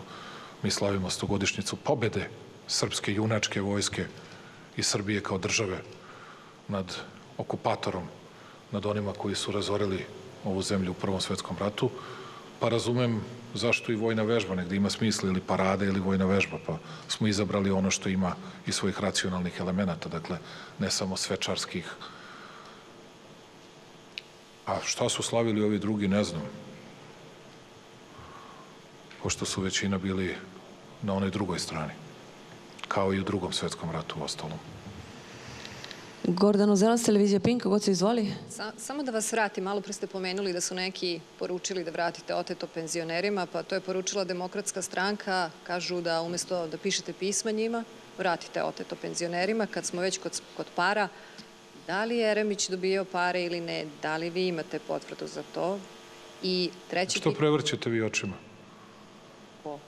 Nešto vam je teško kad neko postavlja pitanje. Nemojte to prema svojim kolegama da činite.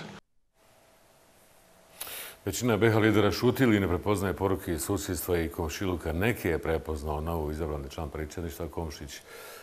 Ono, reakcija na akciju.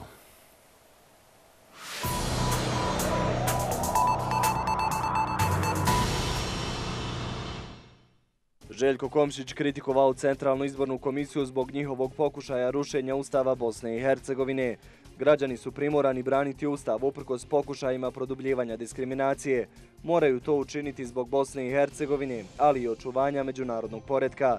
Bilo kakva ravnodušnost znači izdaju i odustajanje od države. Krajnji cilj je da Bosna i Hercegovina postane građanska država u kojoj neće biti bitna etnička pripadnost, izjavio Komčić. Bivši potpredsjednik SDS-a Kostadin Vasić i njegov sin telefonom prijetili aktivisti SDS-a Milijanu Stojanoviću. U snimljenom pozivu psovali roditelje, nerođenu djecu i prijetili Stojanoviću zbog otkrivanja izbornih krađa koje su Vasići proveli na proteklim izborima. Branislav Borenović izjavio kako PDP nije na prodaju, koalicija sa SNSD-om nije moguća. Milan Dunović poručio, situacija stvorena nakon izbora dovela je Bosnu i Hercegovinu u najveće iskušenje do sada. Reakcije međunarodne zajednice su zakašnjale, a došli smo do situacije poništavanja svake multietničnosti u Bosni i Hercegovini. Politički analitičar Esad Bajtal poručio kako su miješanja Hrvatske i Srbije u unutrašnja pitanja Bosne i Hercegovine očita, a Dejtonski sporazum ih obavezuje da prestanu s takvim političkim potezima. Velika tuča migranata u objektu firme Miral u Velikoj Kladuši, povrijeđeno šest migranata, od čega su tri teže i prevezeni su u kantonalnu bolnicu u Bihaću. Veliki broj policije na terenu uviđaju u toku. U Lukavcu sahranjen Alen Mujkanović, novinar agencije FENA preminuo u 34. godini. Zastupnica u Europskom parlamentu Tanja Fajon izjavila kako je situacija u Srbiji dramatična. U posljednje dvije godine demokratija i vladavina prava na niskom nivou. Zabrinutost izrazila i Angela Merkel, kazavši kako bi prekidanje dijaloga Kosova i Srbije te eventualna korekcija granice izazvali velike probleme na Balkanu. Frapantni podaci UNESCO-a. U posljednjih 11 godina ubijeno hiljadu novinara.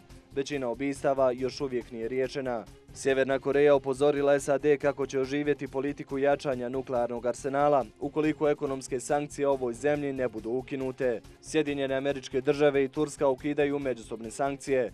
Mevlut Čaušolu izjavio da je SAD tražio ukidanje sankcija. Uspostavit ćemo najjače sankcije Iranu koje se odnose na naftu i banke, izjavio Trump. Iran odgovara da će uprko sankcijama pokrenuti proizvodnju borbenih aviona.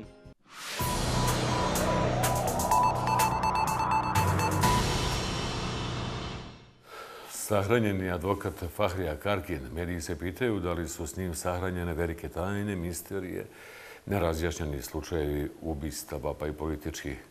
Da li je čovjek koji je sve znao odnio sve tajne u grob? Nisu dokazi u glavi, dokazi su na papiru kralj završne riječi, kako ga je danas eh, nazvala Vasfija Vidović, otišao je bez završne riječi. No, njegove završne riječi vise u zraku. Čuće se kad tad.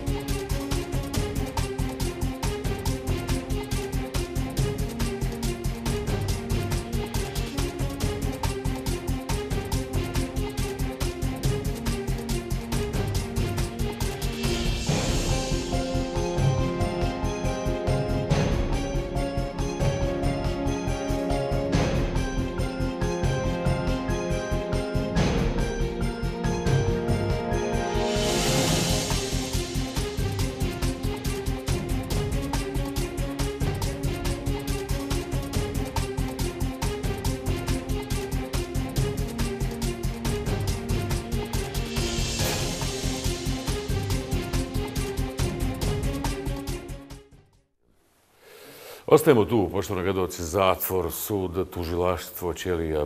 Gotovo sam 100% siguran da jedna djevojčica koja se zove Olivera Čirković, e, beogradsko dete, ne bi zaglavila u Grčku zatvoru e, godinama da ju je branio Fahrija Karkin. Ona je s nama uživo u emisiji, došla je iz Beograda. Nakon one dobre djevojčice iz Zagreba, jedna loša djevojčica iz Beograda. Dobro večer, Olivera. Dobro večer, hvala na pozivu. Olivera se izgovara. Olivera, ovdje može i Olivera, prihvatam sve drugačije bi imalo... Drugačije... Bi sve imalo smisao. Drugčije bi pesme pisao. Da sam znao da postojiš, Olivera. Da sam znao da postojiš, Olivera. Dakle, to je jedna nevjerovatna priča, poštovani gledalci. Prosto nevjerovatna. I završila je u tom... Šta je to, roman? To je autobiografija. Autobiografija. Jeste. Prvi znači, Olivera Čirković, rođeno Vasić. Vasić, nešto mi to se Vasićeva odgovara je Beograđanka iz fine beogradske porodice, košarkašica, poznata, šampionka, prvak, e, pisac, slikarka. I kako se zove to što si radila, što ja samo zovem formalno članica Pink Pantera? Ja ću da to simbolički objasnim, da nešto napravimo eto drugačije ovdje.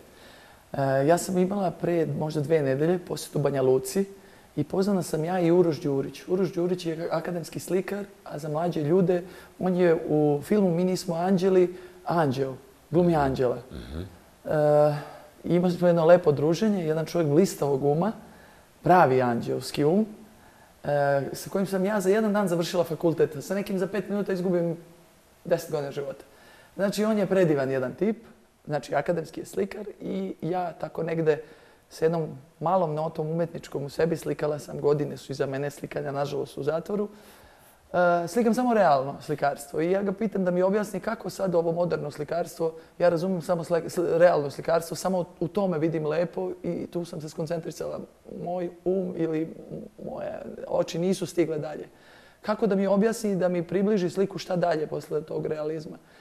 I on mi kaže, naravno, na toj akademiji prolaze sve faze. E, naravno ide realno slikarstvo, ide portret, ide akt, ide mrtva priroda i onda dolazi neki drugi da oni sve prođu kroz te faze i onda se oni ostvaruju u nekom svom pravcu.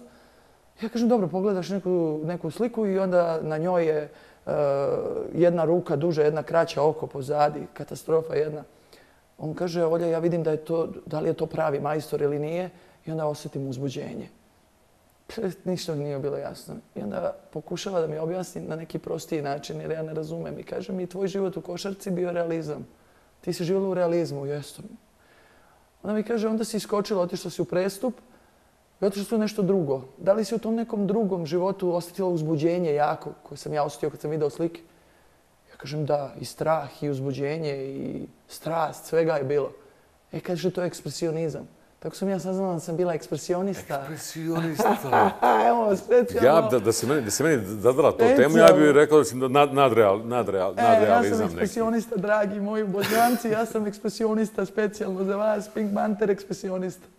Prosto je nevjerojatno ako niste upratili priču. Dakle, teško, malo ćemo o tome, nešto ne bih previše, jer to uglavnom se znaju. Ali da li je Pink Panther bila kriminalna organizacija, organizovana grupa ili neki pokret, ili je neko opšte e, ime za, za, za neke ljude koji su po potrebi se skupljali kao tim, kao reprezentacija i radili svašta nešto. Dakle, bila si, nevjerojatno je kako otvorno o tome govoriš. Da si bila, tebi neprijatno kada te neko novinar pita kriminalac, e, pljačkaš. Ne, zato što sam zaista to odživjela, taj deo svog života. Ali tebi neprijatno, neprijatno kada ti govoriš o tome. Pa nije mi neprijatno. Mislim, ne, ne ponosim se, ali negde kad sam preslikala, kad sam odlučila da ću se javno eksponirati i da ću ovome pisati i napisati autobiografiju i biti iskrena, ja onda moram da budem iskrena u svemu.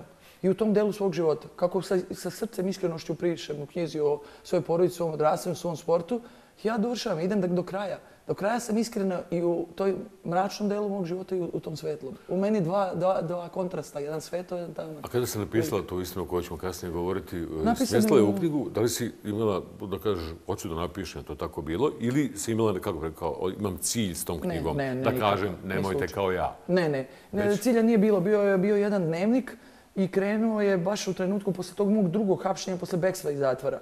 To je jedno teško stanje. Ja ta sam tad već čekam e, sudove i znam da ću biti osuđena na mnogo godina. I osuđuju me na 32 godine ukupno. I to je jedna strašna, strašan teret jedan. To je jedan psihički e, udarac na tebe strašan, iako si svestan da imaš apelacijon sudove da će biti još borbe, ali to A je... prvo stepeno 32 godine. Psihološki pritisak strašan. E sad, moj odgovor na cijelu tu situaciju i na tu klimu lošu i na moj položaj jako loši u sudstvu i u policiji svuda gdje se pojavi, jer je to bekstvo negde, negde omalovažilo i državu i ministarstvo pravde i negde sam ja njih obrukala. Ja sam znala da je moj položaj loš i ja sam negde našla, bilo mi zabranjeno i slikanje. Slikanje je bio jedini ventil koji sam ja negde imala i, i, sport u, u zatvoru, tako da baš zbog toga što sam slikanje iskoristila, pobegnem iz zatvora, jedini, jedino što mi je ostalo, bila sam u tom bloku zatvorena, ostala mi je papir i olovka. I onda je krenuo taj neki moj dnevnik, da ostane neki zapis moj meni, neko slovo, nešto, ne znam ni da li ću ikad na slobodu, ne znam ni kad ću, ni šta ću, ne, ne pravim planove o knjizi, nikako. Samo I- si pisala. samo sam pisala. I tako idu. To je jedna trilogija, imat će tri knjige. I ona je trilogija tu je kraj. Nemam ja spisateljsku neku, neku Ambiciju, da- nikakvu da nastaviš ambiciju. to. Niti sebe smatram piscem. Odmah da ne vređam ljude koji se bave pisanjem, koji su obrazovani i koji me to zanimanje. To je ispovijest. To je jedna ispovest iščupana iz srca, gruba, neobrađena. To je jedna autentična ispovest jednog zatvorenika, koja može biti zanimljiva. Kako pričam to, da, nevjerovatno. Znači, šta je radila? Meni je opet neprijatno. Da, ni malo. Ona je preko bračne veze, preko tih porod, porod, porodičnih kontakta, da pres- preskočimo tu priču, Dobro. ali, ukratko, Jasno. zanima me nešto drugo, ono, unu- unutra, jer izvana Da. je sve jasno. Dakle, e, uda se za čovjeka koji je sklon kriminalu, onda tu, da ja sam tako to doživio. Onda ti vidiš da oni nešto rade, da malo nešto tamo to nešto urade, to bez metka, bez ubijenih, Da. to nekako ro, romantičarski zvuči, znači nema mrtvi, nema ništa, sve je čisto. Ne krade se u Srbiji ni u bivšoj Jugoslaviji, već u Grčkoj. I onda ova plavuša, ima plave oči inače, skonta da ti muškarci to loše organizuju. I da bi ti to malo bolje mogla da organizuješ. Da. I postane mozak Pink Panthera. Te grupe, svjetski poznate grupe. E, Prvo, da se, da se odmah ogradim, znači ne postoji samo jedna grupa, to je jedan mit stvoren i nazivaju ga. Način rada je možda Pink Pantherski jer je način rada uvijek isti i reč je o mnogo više od, nego ono što policija predstavlja jednom međunarodnom organizovanom grupom. Reč je o više e, organizovanih grupa, manjih i većih. Ja mogu da govorim o nekoj svojoj, koju sam ja negdje organizovala po sličnim principima ili tačnije istim. Funkcionirali smo na isti način, isti način rada, isto sve. I reč je bilo neči, nekim ljudima koje sam ja smatrala meni bliskime koje sam ja mogla da okupim. Naravno da sam vidjela greške u sistemu, mislim u organizaciji. E, greške su bile da su to ljudi nedisciplinarno generalno, da i kad imaju veliki novac žive za dan, da često ostaju bez novca i bez organizacije za sljedeći put, često su neorganizovani i da nemaju šta da rade ili kad i da idu tako negde skokovi.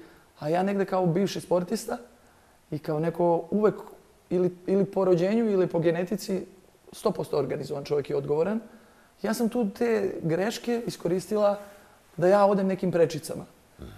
E, to se kretala sam se polako, korak po korak. Nema naglog ulaska u tu priču. Ona ide korak po korak. Prvo kreće da ja otkupljujem tu robu njima, pa onda idem korak dalje, to radim u Srbiji, otvaram ja showroom koji je negde prihvatljiv jer sva elita tu kupuje i, i to je Jesu svi normalno. kupovali kod tebe? Pa političari. Tako je počelo, dakle, Tako je počelo. uzimala si tu ukradenu robu i prodavala. I, I to su bile samostalne trgovinske Ko je radnje. najviše kupovao? Znaju oni.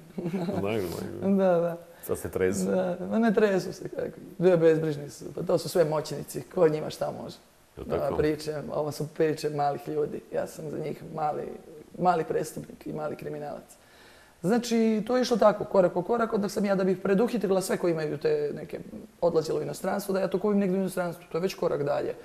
Taj neki moj i borbeni karakter i duh, taj neki, te moje prečice da pobedim sve, imam taj neki, neki ne- nešto u mojoj glavi, nešto se takmičim stalno. Ako nemam s kim, ja sa samom sobom. A ako ima negde nekoga, ja onda sa njim. Tako da negde sam gledala tu da ja to sve prestignem sve.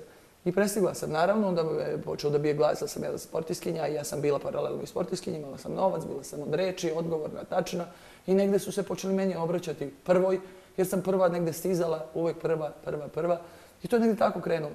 I onda sam vidjela da kako to sve ide, da, ja, da oni ne mogu da krenu na put tom brzinom koja meni odgovara. Ja sam to već kupila, Prebrza prodala. Prebrza. E, da bih ja to ubrzala, ja sam onda ja investirala taj put i čim sam investirala, ja sam onda organizovala i stanove. Čim sam organizovala stanove, ja sam onda tu trebala da uzmem deo kolača, a ne da budem neko ko će otkupiti. Ja sam odmah sebe stavila tu u deo kolača i kolač je postojao veći, manji, veći, manji.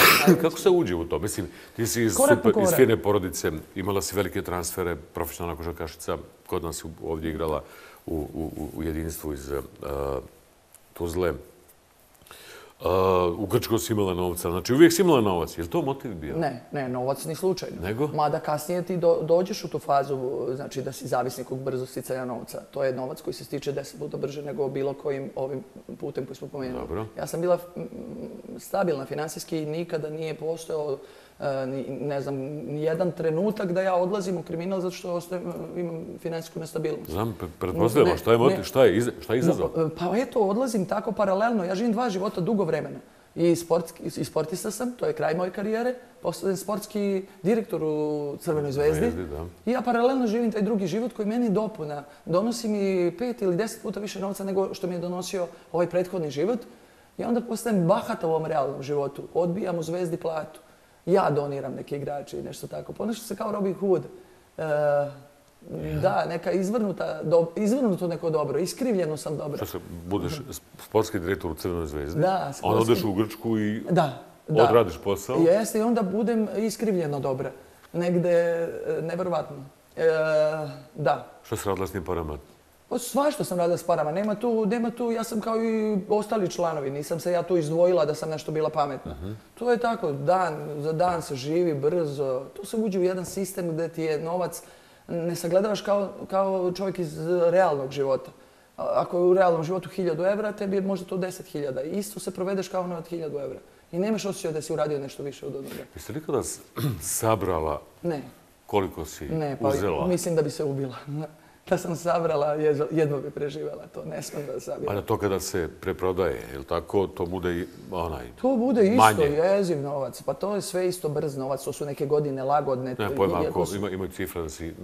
Jedna, jedna, pljačka je bila pre, milion eura, jedna je 3,5 miliona eura. Pa da, ali moram da kažem da te pljačke koje se pominju 3 miliona, 5 miliona, da, zaista, ali se one ne naplaćuju tako. E pa to pitam. Znači, ako je nešto e, vrednost u gradnji milion evra, onda se naplaćuje 30 do 40% od vrednosti. Znači, to je od 300 do 400 hiljada prevedeno u novac. Ali odmah, ima, Ali odmah, imate ono ko, odmah, ko, ko to odmah, kupuje... Odmah, odmah. I ta, taj Sklanja. posao od milion evra se ne računa u veliki posao. E, zato što ga izvode četiri, četvoro Dok ljudi se, bar. podi, dok se podijeli. Dok se podeli, znači to, to, to se ne računa. E, računa se od... Zašto nisi nikada ušla u, u, kalku, u, obračun? od- Zato što bi mi bilo teško, razočarala bi se. Gde, gde, gde su ti novci svi? Nemam odgovor. Desetine ili stotine miliona eura? Pa desetine. I razočarala bi se. bilo bi strašno. Tako da ne ulazim u to, samo napred. Nema kajanja, nema osvrtanja, ne kajanja u smislu da je to dobro i da sad ja širim poruke neke, to je dobro. Kako dobro kad ja javno govorim o tome svemu i o tom zatvoru dugogodišnjem i svemu. Nema tu dobra. Znači, To je to ali- način to, kako si ponizila jednu državu, e, znači Grčku. Da. Pravosuđe, to je, kako bih rekao, veća sramota nego Jasno. da Jasno. neki ubica, zločinac, Jasno, masovni jasno, ubica. Znači, kako si pobjegla Možda to izgleda na neki način lukav, e, e, to samo že- že- žena može smisli, valjda tako. Žene su dosta perfidnije i lukavije. Ne kažem pametnije, ali perfidnije i lukavije jesu. Tek Tako da sad taj- konta, vidim ja ne- nešto nisam Da, skontao. da, taj ženski mozak radi nekako nevjerovatno. E, I tako i moj, eto, u, meni i žene i svega u glavi. Tako da sam ja odmah negdje iznutra sagledala situaciju. Ja sam već tu povratnik, ja sam već jednom odležala zatvor, drugi put sam Koliko ja... su ukupno bilo u zatvoru? Sedam i po godina. Sedam i po znači, godina. Da, znači ja sam već povratnik koji je ležao dve i po godine. Već ne poštuje ni sudstvo ni policiju. Onaj koji ležao u zatvoru nema poštovanja za ove, nažalost. I, i, i jako je dobro da se ljudi ne usuoče sa ovakvom stvari s kojom sam ja, ni sa zatvorom, jer kad prestaneš da veruješ u, u, u, u policiju, u državu, u sudstvo, negde izgubio si totalno kompas i to je loše. Susrećem se sa korumpiranom policijom, sa korumpiranim sudstvom I ja tu ne vidim razlog da sedim više u zatvoru. Zatvor kao mesto je jedna fabrika zla koja proizvodi samo veće zlo. I mene stvara većim prestupnikom, jer me je već proizvela u većeg. to tačno, To jeste? je zaista tako. Zatvor ničemu ne uči, samo stvara većeg prestupnika. Ona prije stano uđe, uđe neki kao sitni kriminalac, I izađe, izađe kao ubica, ono, Pa ne, ubica izađe kao ovo srednji, a onda kao, ovaj srednji izađe kao ubica viši, Pa to, onaj to, sve gore i gore. Gore i Znači, gore, To da, je, to, da, to, to. to kad je to... Kako si pobjegla? E, Pobjegla sam, znači, koristila sam onim čim sam mogla. Prvo sam, e, znači, već je jasno u zatvoru da ja negdje imam slikarski talenat e, veći nego, nego običan čovjek, nadprosječan je. Bar za te uslove neke normalnih ljudi koji mogu da pogledaju moju sliku, za njih je to savršeno, to je neko realno slikarstvo i to izgleda kao fotografija. Znači, Ekspresionizam. Da, ekspresionizam je u poslu, a u slikarstvu realizam. Realizam u Da, poslu. da, to je spoj nespojivog. Inače, u meni su svi kontrasti ovoga A u ovom dodatnom poslu, kao šta je to? Nadrealizam. ovo je, da, nadreali, da, mogu bi se tako reći. Tako da sam ja to iskoristila, to moje slikanje, prvo da se približim negde, u stvari imala sam pomoć, e, nesvesnu pomoć jedne žene koja je bila ključ čitave priče, ona je čerka od ministra pravde Grčke koji je ušao u zatvor, zove se Akis Tsohadzopoulos i bio je... Kako, 20 kako?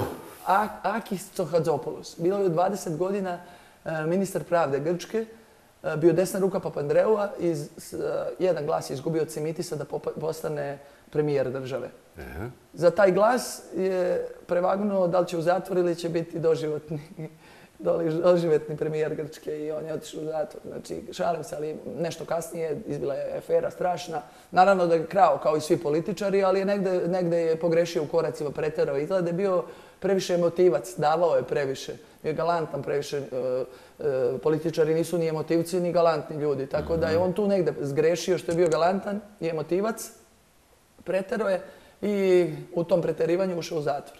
Onda je kao kolateralna šteta tog njegove priče bila njegova čerka koja je devojka, žena koja je odrasla u totalno nerealnim uslovima. Ona je odrasla u takvoj jednoj porodici. jesi upoznala u zatvoru? Da, ja nju upoznajem u zatvoru. Ona je kolateralna šteta svoga oca, ona je žena arhitekta, završila je e, dva fakulteta, priča pet jezika i ona je kao neka zvončica ispod, ispod, ispod staklenog zvona. Otkriješ zvončicu i šta Otkrijem uradiš? zvončicu u zatvoru e, i zvončica se meni približi jer zvončicina mama je Nemica, tata je Grk, ali u njoj taj nemački gen postoji, a ja jedan taj gen imam, ta moja disciplina ih podsjeća na Nemce. A disciplina je od sporta, tako da ona mene viđe svaki dan u dvorištu. Ja sam jako disciplinovan, svako jutro trčim, znači od 9 do 10, i radim vežbe, slikam, tako sve po ceo dan kao vojnik. I onda, i onda ja sam joj privukla pažnju i onda ona pokušala nekog mi se približi, a ja nisam baš dozvoljavala to približavanje u zatvoru, znači već sam ja ponovac tu i već mi je jasno da mi ne trebaju druženja po zatvoru, tu si vrlo negde ograde postaviš da ne bi gubio vreme. I ja u jednom trenutku saznajem da... Ne bi gubio vrijeme, a gubio 32 godine si vremena dobila. Da, ali ne bi gubio vrijeme sa tima. S njima možda izgubiš 64 godine za dva minuta. Nećeš da gubiš vrijeme s ljudima i kada si u zatvoru osuđena na tako. 32 godine. Naravno. Pa ja sam za sve to vrijeme stvorila toliko lepe stvari. Oslikala sam čitav jedan zatvor, to su stotine i stotine kvadratnih metara. Dobila sam nagrade, sve moguće koje mogu zoviti, o tome možu kasnije. Dobila Kako sam- si pobjegla? Kako sam pobjegla. Znači, Areti, to je moja prijateljica, ona u meni vidi nešto specijalno i počinjemo se družimo, vidimo slike i njoj je negde ta kovandir zatvora negde blizu jer je ona ipak ima e, neki specijalan status u zatvoru, nema običnog zatvorenika. Ona, znači, pokazuje moje slike, ja imam već predloge da slikam zidove jer su sivi, nikakvi da tu negde dam. Ja sam razmišljala o nekom, nekom hodniku zatvorskom da ga sredim pa da se polako približim negde vratima. I ispad jedna nagla odluka koju je donela komandirka zatvora, eto, tako su zvezde htele. Ona donosi odluku da ja oslikam zid na, u, u kancelariji direktora. Direktorka zatvora je direktorka i muškog zatvora koji se nalazi preko puta i redko je tu. Tako da tu praznu prostoriju ja oslikavam. Ona želi da negde fascinira direktorku i ovoga istražnog sudiju koji dolazi u zatvor i daje nam poslove. Ja. I ona da bi njih fascinirala dovodi mene na, na izvor greha. Ja sam tu, pored vrata glavnih, tu su komandirova kancelarija, tu su glavna vrata, tu se otvaraju svakodnevno, ja vidim slobodu na jedan Prevodu metar. do, do izlaza te do, Do, faktički do izlaza. Ja odmah, moj, taj mozak je tu ženski perfidni radi, tako da ću se te boje sakriti odmah pored izlaza, ne sakriti nego skloniti, znači da one budu u jednoj prostorici koja je odmah pored glavnih vrata. Tako da sam prvih desetak dana sam opuštala te stražare, jer oni su imali negde nelagodnost kad sam se ja približavala, jer sam ja, jer sam ja zatvorenik blizu tih vrata. Stalno su se negde Na gotov Da, da, da. Posle deset dana, kako je slika moja napredovala i, i, i kako je to sve postalo zaista lepo, i njima neprihvatljivo da sam ja zatvorenik. Kada te vide u zatvoru da nečim se baviš, da si negde, da imaš taj neki umetnički dar, naročito slikari u zatvoru su naročito cenjeni. Da oni izgube taj osjećaj da si ti zatvorenik. Onda su me vidjeli ovako visoku, tanku, onda sam ja njih asocirala na tu košar koja sam bila poznata u Grčkoj, jer sam igrala tamo sedam sezona, bila sam prvi selac prvenstva. Znači, tako da su oni tu povezali košarkašica koja ima takvog dara i koju je zaveo neki, neki prestupnik i ona eto plaća tako su me negde videli. Ja sam se tu vrlo skupila i vrlo... Zatvorski kazano, nevina. Da, zatvor me tako video. Ja sam tu bila vrlo, vrlo tiha. E, nisam se eksponirala, nisam bila bahata. Ja sam tu i volim da sam... uhinjila se malo. Uhinjila se, tako bi bilo. Bila sam vrlo uhinjena i... E, a slikanje volim, zaista. Pa kad... Kako dođe do vrata? Šta su radila na kraju? Ništa, ja sam imala samo ljude na polju, nije samo, to je mnogo. Znači, prvo da bi organizovao bekstvo, odmah da, zna, da, da, kažemo ljudima da to ne može običan čovjek ili obična žena ili prestup, neka prevarantkinja ili neka žena koja je imala financijsku prevaru u banci. Dobro. ti možeš da imaš određeno kriminalno iskustvo i to ozbiljno kriminalno iskustvo. Da bi imao auta, spremna motore, da bi imao bekstvo, za bekstvo stanove, sve to podsjeća na kriminal. Ja sam to, to je bio moj život. Znači, ja sam morala s polja isto da imam i ljude i organizaciju. Ja sam imala ljude, grupa. Samo je trebalo izaći. Samo je trebalo izaći, ja sam ljude imala i imati hrabre ljude. Ja sam ih imala i ljude koji te vole. Jer na tako nešto dolazi samo oni koji te vole. Nema tu para, I nema tu kako je došlo da i koji te voli? Tri su došla koja me vole, a jedan pa najviše, taj koji najviše voli, on je imao zadatak najteži.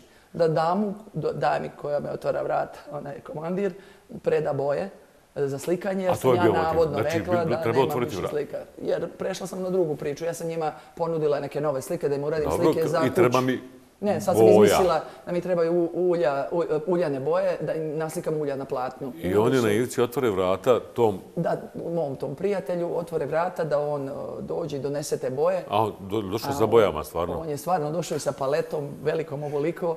I, sa bojama i sa srcem. Došao. I naš je dogovor bio da se ja pojedne vratima i ako ja klimem glavom, da, da on ju udari. Ako um, kažem ne, ne, jer ja određujem unutra situaciju, moglo je da se desi nešto iznutra što bi bilo nepredviđeno i nije bilo prihvatljivo. Ja sam klimnula glavom, bilo je okej. Okay. Koliko je moglo da bude okej, okay, bilo je još tu zatvorenica i još ta žara, ali ja sam to procijenila kao nekom stabilnom I on je udario? On je udario, ona je pala ali on udario tako da je to baš kako treba. Niti da je povredi, a niti da ona može da viče, nego tako kako treba. samo ona zna da ribi. Aha, u pa tom smislu. imamo mi profesionalne izvršioce takvih stvari. Znači, nije to baš slučajno tako izabran osoba. Smjerom, tačno se Smjerom, osoba profesionalna sa mjerom. Da. I onda je on, ona tako, eto, pala. Kad je pala, ona ništa nije znala što se desilo i ona je viknula bomba. Ona je mislila da je bomba eksplodirala, doživjela je flash. Znači, do... Pa njoj je bila bomba, pukla, pa njoj je bila bomba, ona je mislila bomba. E sad ove druge što su ovaj, još gluplje od nje, one su bile sigurne da je bomba, a ne vide nikakvu bombu. One jednostavno vide iz stražarke da ja odlazim, ali su toliko šokirane, je to jedan gest i jedna pojava nevjerovatna za zatvor. Na motoru? Da, čekali su nas dva motora, ja, ja i on smo otišli, ali smo polagano izašli bez da dižemo neku, vrlo smo se ponašali Eh, opušteno. par na motoru. Ono. Par na motoru. Ja sam Marama nekako je. Da, da, ono. ja sam, ja sam promašila motor. Otišla sam na motor koji nisu stigli da iznajmimo brz. Ja sam uzela neki spori e, i sela sam kod čovjeka koji je viši od mene, dva metra, jedva nas izneo taj motor. To je kod dva ranjena puža smo budovali i obili Reci mi, e, u, u, Srbiji nikada nisi, kako se to kaže? Nikada prestup, nemam ni, ni, Ništa nisi. nemam ni prekršaj. Niti ljudi te tvoje grupe Pink Panthera? ne. Niko to? U regionu? Blistamo. U regionu isto ništa? U regionu ne. Ne, samo... ne, naravno u regionu ne. Blistamo. Samo, samo... Samo tamo negde gde se to desi. Jel to bude, ima to tu Robin Hood? Ima mnogo. Jeste malo rasipnici na neki način? Znači, tamo to uzmete 3 miliona, prodate to za 40%. Presipamo šupljeg u praznu. Je tako? Tako, da. I, onda, i, dajete ljudima? Pa da, to je presipanje šupljeg u praznu. Jesi ti davala, jesi? Kako nisam? Pa to je, hađinica si bila, tako? To je hađinica prava. od uvek. Od uvek. I ostala. Znači, široka i velika. Zašto se davala? Komi se davala novac? Pa nemam ja sad tu, ja, sad, ja, ja mogu samo da kažem u sebi, znači sada ja tu sebe, e, to mi je odvratno. Da, da ja mene zanima, promovišem. mene zanima, mene zanima. Pa Moraš, da, moraš. ali ne, te, to sad ja da kažem kome sam pomogla, pa to bi delovala kao Nije političar. ti neprijatno da uzmeš, uletiš u izlog e, Zlatara i pokupiš to, Pa a evo ga, neprijatno- opravdat ću odmah. Daću odgovor odmah. Ajde. Kada se desi neka, e, neka takva krađa ili Ja. pljačka, šta se dešava? Koji su sljedeći koraci? Napadnuta je jedna skupocena radnja. Ona je u roku od tri dana. Prvo je osigurana samo staklo. Će biti promenjeno u roku jednog dana. Zadužene su nemačke firme i one menjaju pancirne izloge. U roku od jednog dana je zamenjeno Dobro. staklo. E, Zlatar ili vlasnik te radnje neće pretrpjeti nikakvu štetu. U roku od mjesec ili ne znam koliko Osiguranje. će naplatiti osiguranje, ali ne to koje je pretrpeo štetu, nego trostruko. Oni su svi moćnici, to su bogati ljudi koji su sprezi s političarima i sa policijom, s kim god hoćete, oni će naplatiti trostruka osiguranje. Kako? Znači, Kako? svi će se obradovati u toj priči. Mi, zato što smo uzeli plen, Nemci, zato što su osigurane su stakla i promijenit će ih isti dan, naplatit će. E, jedini ko je u tom lancu doživeo štetu, to su osiguranje ili banke. Pošto su banke legalni pljačkaši, ne mogu ih žaliti. I ne mogu smatrati da su bankama nanešene štete, jer su oni toliki moćnici i toliko su jake da je bilo još 300 miliona više takvih e, akcija ne bi ih dodirnuli, a ne takve. To su smešne Da, cifre za da. osiguranje i za banke. A zašto, da. zašto vlasnici naplaćuju tri puta više? Zato što prijavljuju, lažu. Prijavljuju da je više ukradeno. Da, da, pa uvijek. Ako pokupite milion, oni kažu Uvek, ukradili smo tri miliona. uvek. Ja imam iskustvo da su, da su prijavili izlog gdje smo se mi zaglavili udareni autom u izlog i pale su vitrine. I zatvorile su e, ulazak u Zlataru. To je se prvi put desilo. To je nevjerojatno teško. Jako su bile velike vitrine, masivne i tu se redko dešava. Ja nisam čula se nekad nekom da desilo. Nama se to desilo i u izlogu je bio nakit i neki satovi. Ali to, to je bilo sve par, ovog par, onog par. To, to, to je nama ispod časti da skupljamo te parčiće. To, to, to je strašno. Ekipa čitava skupila se da osvoji svet i da mi skupljamo jedne minđuše. jedan Fukara sat. neka taj neki, znaš taj- to taj liči, mi da. secike se. znači, mi smo to ostavili, ba niko se nije okrenuo. Znači, to je pokušavano, pokušavano, ti nemaš tu vremena. Provalite, vidite da je Dva malo i minuta, idemo. Dva minuta, i čao, nema odlazak. E, on je prijavio taj isti, e, zato što sam posle hapšenja tog drugog, meni se sad stavlja sve živo na teret, meni je tu po- podmetnuta DNK u nekom autu, pa zato baš znam i, i, odgovorno tvrdim sad ovo što pričam. On je napisao i naplatio osiguranje 150.000 evra za taj Ja. izlog da je ukradeno a, i tretirano je kao krađa, a to je u stvari bio pokušaj krađe jer nikad ništa nije pipnuto. Znači on je pretvorio Da je- da- da pokušaj ste ipak u delo odnijeli. i naplatio. Da ste ipak odnijeli. Tako da... Grk. Grk, naravno, Grk. Nema tu poštenja kod Zašto je Grčka propala? Pa nije, svi zlatari, nema tu mnogo poštenja kod, kod gospodina zlatara. Znaš taj vid za, za, za, tipa koji je zaglavio zatvor i ušao u banku, ono, da, opljačka banku. Kaže, što si, banku? Upao danas i upao da opljačkaš banku. Kaže, banka je prva počela. Istina. Kada bi normalan je narod sabrao koliko mu banka od- uzima tokom života, ili jedan čovjek, pojedinac, koji je redan, radan, zaposlen i ima kredite za stan ili za kuće ili za, ili za automobile, kada bi sabrao koliko je novaca uz- uzela banka, shvatio bi kojih pljačka. Koliko si, znaš li, si vodila evidenciju ili znaš, koliko si pljačke izvela? Ne, ne, pa nema evidencije. Ti koji su dobri, koji su radili, koji su bili vredni, a ja to jesam bila, tolike Ja. godine i tolike, tolike rob- Koliko je to trajalo? To je trajalo jako dugo, to je jedan proces uf, godine, da ne kažem skoro 20 godina. To, to ne se gladivo, to je bezdan. Ali znači... I koliko se za izvlačim 20, te- 20? Ma nema broja, pa to ne. 500, 100... Ma kakvih Znaš- 500 i kakvih 100. Znaš što vam negdje podatak? 1666. Ne, mislim da su to, to ne, ne, ne. Pre precizno je da bi Ne, zvučalo... to 1116 je, ne, to je greška iz nekih novina, pa onda prebaci se u, kod drugih informacija. Ja sam na jednom sudu, od tri koje sam imala, terećena za 116 krađa zlatara. 116. Onda je neko to se izbunio ili, ili voleo da, još pa dodao još jed- jedinicu, ali 116 krađa na jednom sudu. Znači, ali to je za jedan period kraći, znači, za koji sam ja terećena od 2008. do 2012. ili 2009. do 2012. Tako nešto. Ko je znao u porodici čime se baviš? Ko je u Srbiji, Srbiji uopšte u Jugoslaviji bivše znao da čime se baviš, šta radiš? Pa moja, moji roditelji su, nisu živi i na svu sreću da nisu živi, ne zato što, što nisu živi, naravno, voljela sam ih, e, nego što ne bi to da, preživjeli. da, da, sad. to, to ne bi preživjeli. Znači, kada bi neko moje roditelje sad probudio, koji su me najbolje znali i koji, koji, s kojima sam bila jako otvorena, mi smo bili jedna familija vrlo otvorena, ko, nis- nismo se skrivali. Nije bilo tajni nekako. Kada bi ih neko probudio, kada bi pokazao ovo ili prikazao sad ovo što ja pričam, ne bi znali da odgovore. Ne bi smeli da kažu Olju je neko nagovorio, jer mi znaju karakter od malena, buntovan i, i, liderski. Ne bi me niko mogao nikada nagovori. A ja sama da dođem do toga, to im je neprihvatljivo moralno, nikako, nije bilo moguće. Tako da moji roditelji ne bi znali odgovor na ovo. Raja, prijatelji, niko nije znao. Znali su svi. Kako Znali su. Pa kako ne, pa to ne može da se sakrije. Pa to je kao kašalje ljubav, to se ne krije. To nije moguće. I kad hoćeš da sakriješ, to nije moguće. Tvoj način života, tvoj stil, tvoj sve se meni. Istražnim organima u Srbiji to nije bilo zanimljivo? Pa nije ni malo bilo zanimljivo. Ja njima ni sad nisam zanimljivo, oni vide da sam ja, nikad nisam bilo zanimljivo. Nema sada niko da te, traži, da je neka potjernica, završeno je sve. Ne, ne, sve pravno. sve svoje sam završila. Imam zabranu za Grčku na nekoliko godina koju se nadam da ću da rešim. Zove me direktor zatvora, se vratim da oslikam neki, ali kao slobodno lice. I da mogu, kako imam kod preko RTS-a. Hoćeš to uraditi? Hoću to uraditi sigurno, zašto ne? Prvo, to je čovjek koji mi je jako drag, bez obzira na, na okolnosti, nije mi on kriv što sam u zatvoru, ja sam njega zavoljala, on mi je dao podršku, ja sam mislila kao čitav zatvor. On je plakao kad sam ja odlazila. To je takva jedna potresna scena. On plače i, i, izvinjava se i kaže, Olja, ja ti se izvinjavam, ja ne plaćem što ti ideš, ali kako ćemo sad mi bez tebe?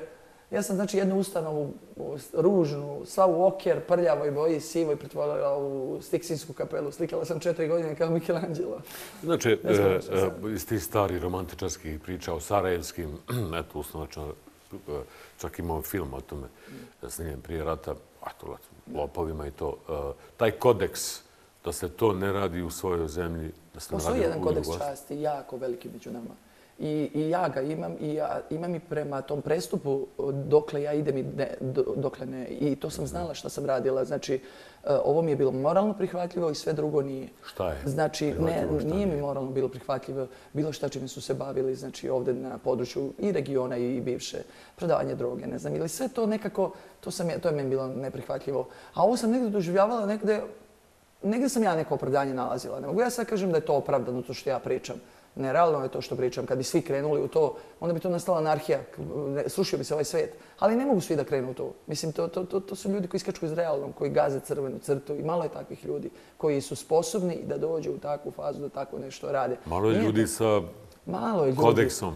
I malo je. I to su, znači, ja govorim samo o jednoj grupi ljudi koji su uporno odlazili na negde vani i radili i vraćali se i kao oni miševi u krugu trčali jer nigde nisu stizali, presipali to i šupljeg u prazno uglavnom. Redki su oni koji su zadržali novac. I je li iko zadržao novac? Ja poznajem, poznajem, ali redki su. I poznajem. Što su napravili, biznis od toga ili... Da, da, postali su, ne, da. Uložili su Da, uložili su, ali to su jako redki primjeri. Ali postoje, ne mogu da kažem da ne postoje. Postoje. Zašto ne možeš da se izvučeš iz tog, iz tog Postoje, ali to, to na prste jedne ruke mogu da izbrojim. Ti koji postoje, da. Što će sada da radiš? Pa, Poslije te knjige? Ja imam 101 plan. Sad ako bismo krenuli u mojim planovima, treba nam e, emisija od 10 sati. Jer jedan podrazumijeva nešto nastavak u tom nekom... Pa ovo je samo početak. Negde knjiga je neki početak. E, ja imam plan da zavedem čitav region ovaj i ide mi lepo. Ali ne u smislu da, da zavedeš? Da zavedem, da zavesti, jer ne znam drugi izraz da kažem, pošto političari manipulišu ljudima, ja kad bi za sebe rekla sam manipulator, stavili se u, jednu ružnu grupu ljudi koji imaju e, loše namere i hoće neki interes. Pošto ja to neću, imam čisto srce i dobre namere i volim ljude, ja bi sebe tako nazvala, eto, da zavedem. A krenulo mi lepo, imam odjek i, to mi se jako sviđa. Ja nisam... E, e, neko ko želi da vrati bivšu Jugoslaviju, to je, to je iluzorno, to je ali jo, pa to se prepozna jugoslavljičarci, šta je tu pa jesam, pa ali ne mogu ja to uraditi, mislim, nije to moguće. E, ne smeta meni ova izdeljena zemlja, smetaju mi izdeljeni ljudi.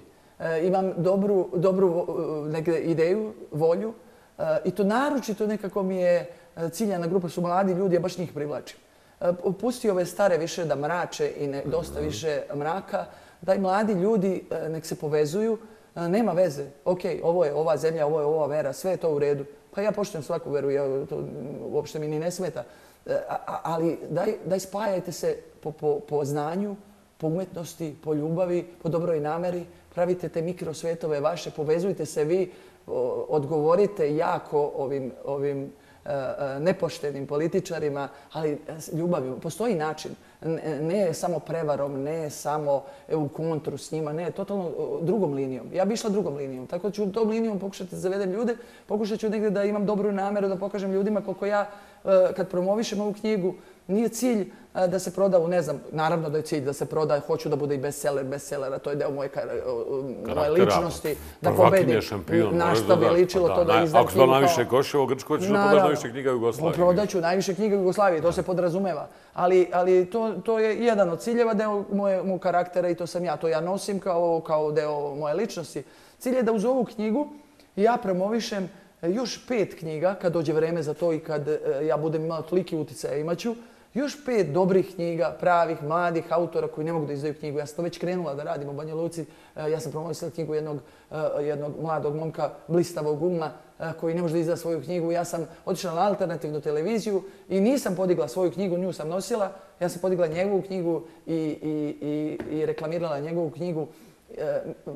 Imam u tom pravcu mnogo stvari mogu da uradim. Kad već privlačim ljude, imam neku harizmu i zanimljiva sam im, da uradim neke dobre stvari. Ova deca koji uzimaju, pa se brinu dušebrižnici, a to su nemoralisti naravno, to su ljudi uza, uza, nisu široke svesti. Uh, uh, da, da, bi, da bi, prvo moraš biti... Konji, konji. Konji. Prvo, učim ljude da budu malo neposlušni, ne mnogo. Mnogo neposlušno znači ići u zatvor. To je glupo. To sam uradila ja i pokazala sam da ne treba. Ko ne proba život, nije ga ne živeo.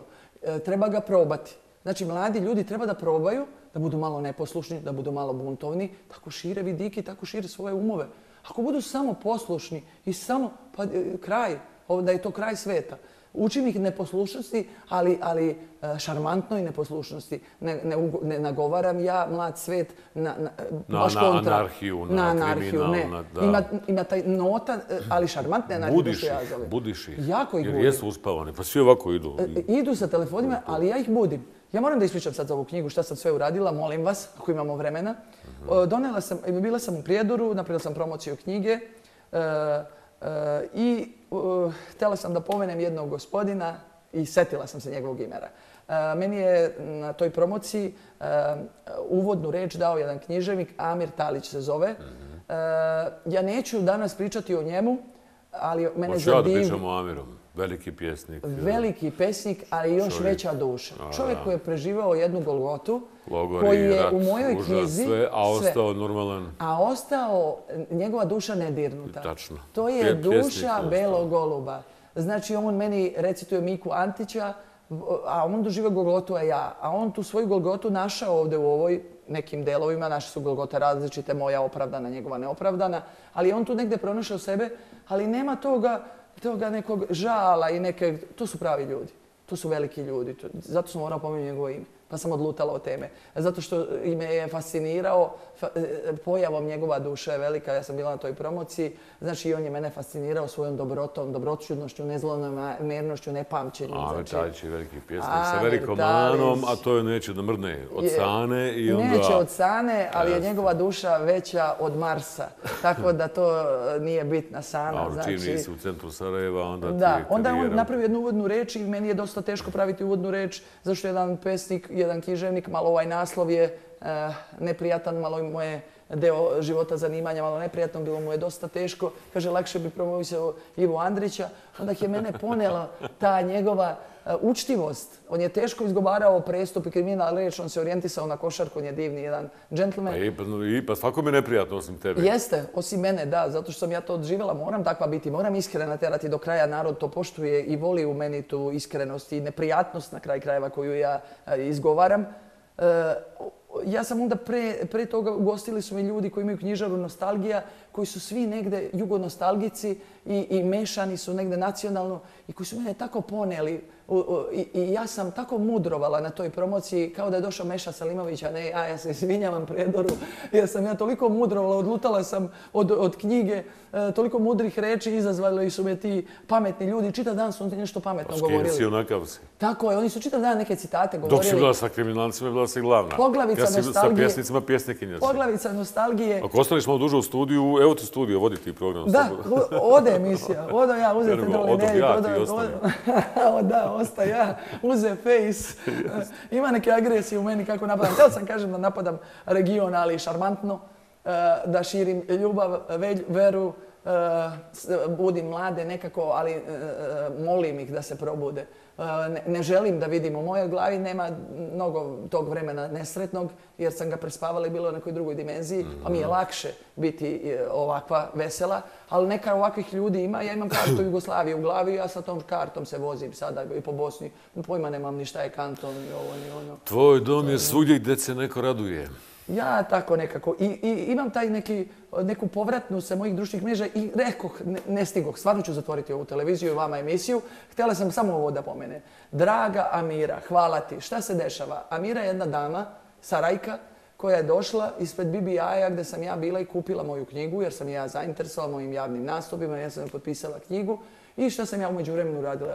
E, naravno, dala sam joj telefon jer mi je tako divno. Je, bila, mi je, bila mi je fantastična, imala je tu maramu, e, e, nosila je, meni je to fantastično, meni je to orijent, meni je to bajka, za mene neprihvatljivo. pokrivena je gospođa, Da, da, da, da. da. Mlada je dama, ona je sportiskinja.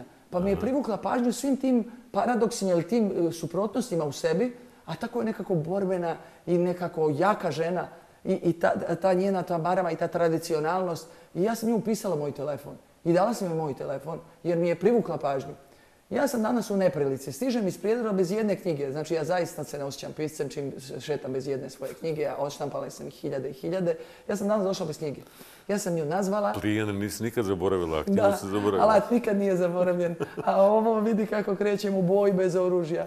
Došla sam u boj bez oružja i ja sam moju prijateljicu koju sam vidjela pre mjesec dana i bila s njom dva i pol minuta, nazvala draga Amira. Ja sam zabrljala knjige, nema ovdje Olja Čirković, bez, bez daha je žena, Daj mi- devojka daj mi moju ostala. knjigu.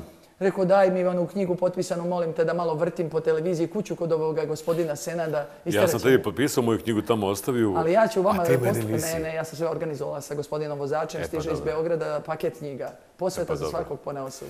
Da. Imaš... E, samo kuću kažem, eto, jedna Amira kako voli jednu Olju. Ona sa tom maramom, Ma da, Olja bez marame, Pink Panther. Znači, pa da. koliko je to se prepliču, ali dobri ljudi uvijek se nađu i prepletu se negde. Manimo se zla više dođe vola, hajmo napred mladi do pobjede. Nemam dečka, e, nešto mi se udvaraju, ja se nešto femkam. E, Je, usuđuju se muški to da... Ma ne, sve mi se udvaraju preko Facebooka i preko interneta. A ovo, Niko- face to uživo face? niko. Niko živi ne prilazi. Kukavica ja muški. čekam kukavica do Ako neki muškarac slučajno da u emisiju, odmah isliči. Čekam, ali trebalo bi da me obori s nogu, da me izuje iz cipela, da zaboravim kako se zovem taj neki gospodin. Treba toliko curu oboriti s nogu. Pa dobro, ili bar da zaboravim na trenutak kako se zovem. Metar 192. 93. Ne, Dva. dodaste sad taj jedan centimetar. Dosta je ovih dva. 192. E, da. Ti si jedna žena koja smanjuje centimetre. da, da, istina. I, i da. Ženama su baš bitni. onaj. Da, 192. Jedna žena koja smanjuje, da se uglavnom dodaju pa se mere sa štiklama, pa ovako, pa onako, ja se malo izgrbim. Suprug je bio te visine ili bio... Suprug je bio dovde, niži, znači uvek problem, nikako naći višega, uvek nekako niži oko mene, borbeniji. Ne znam šta je to. Šalim se, ne znam. Ne znam šta će, u kući udarači sad u jeseni mog života, šta će više sa mnom. Jes, jes, mi, mi veliki znamo da ovi malo niži se više trude uvijek. Da, oni više truda uležu, valjda što su indisponirani, pa nekako su borbeniji. Ja, ja, to je. Iz regiona također udarači, Hrvati iznenađuju. Najveći udarači Dalmacija.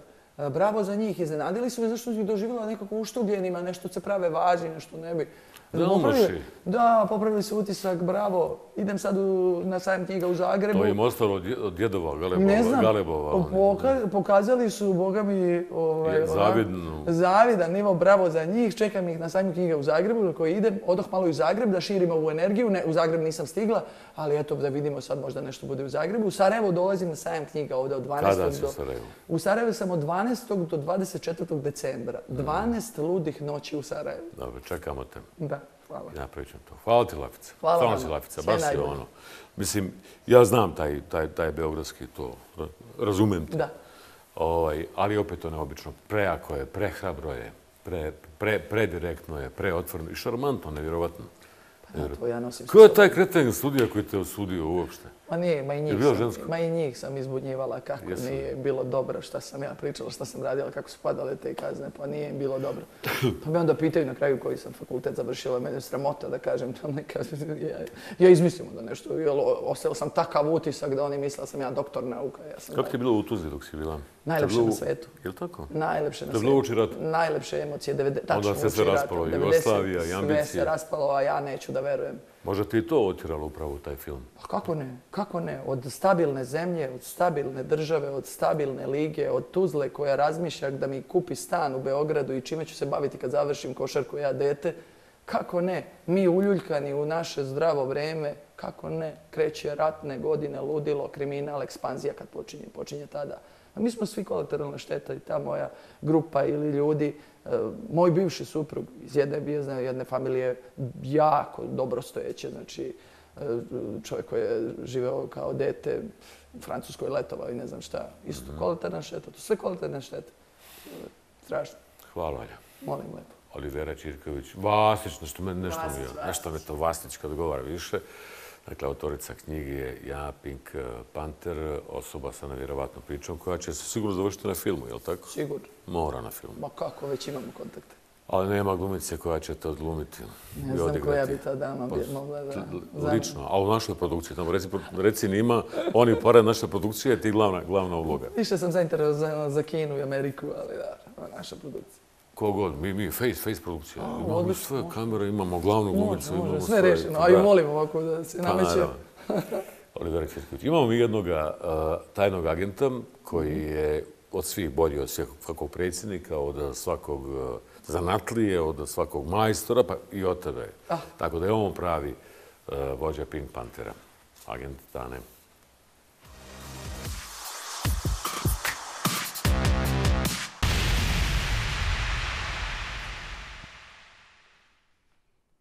Ja sam pravi Pink Panther. Nije prava Pink Pantherova Olivera. Ja sam član prave grupe Pink Panthera. A šta ona radi? Kako krade? Uzme auto, zaleti se u izlog zlatare, polomi sve i odnese i zlato i dijamante. A mi, pravi Pink Panteri, drugačije, elegantnije radimo. Manje vidljivo i upadljivo. Ne treba nam auto da se vozimo u pljačku.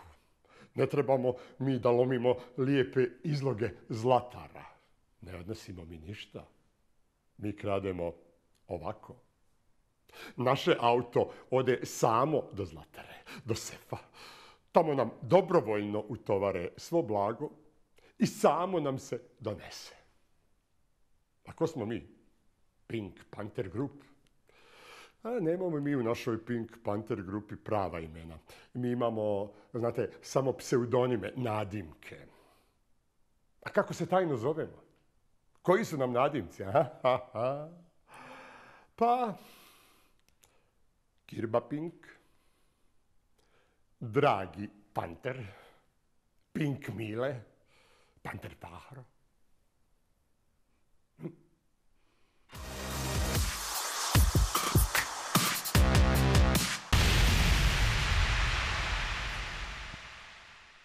Naša država nije ni luda kuća, ni javna kuća, ona je naša kakva je takva je. Mislim- Mislim da bi iz Bosne, iz Bos, bosanskih političara trebali malo više se okrenuti prema hrvatskoj politici. Jer oni njima ne misle loše. Mislim da je bosanski narod zatvoren u, u, u, u, u lošim informacijama na vijestima. po onoj narodnoj brigo moja pređi na drugoga. Bez svake sumnje Hrvatska sve svoje ne tako male probleme pokušava da prikriva brigom za našu zemlju i njene nazovi probleme. Sigurno da građani Bosne i Hercegovine ovakvu prljavu rabotu znaju da pamte. Odnosi Bosne i e, Hercegovine e, sa Hrvatskom su loši. Sami dolasti čelnika a, susjedne nam zemlje govore kako se odnose prema nama, dolaze nenajavljeni bez poštivanja protokola i pored ostalih problema koje, koje se odnose na našu zemlju. Uskoro odjeva CD-a Pošteni gledalci. U odjevi kratka priča o tajnom pacijentu operisanom u kliničkom centru Sarajevo. Danas je bio konačno na neki način pravi derbi Sarajevo želja.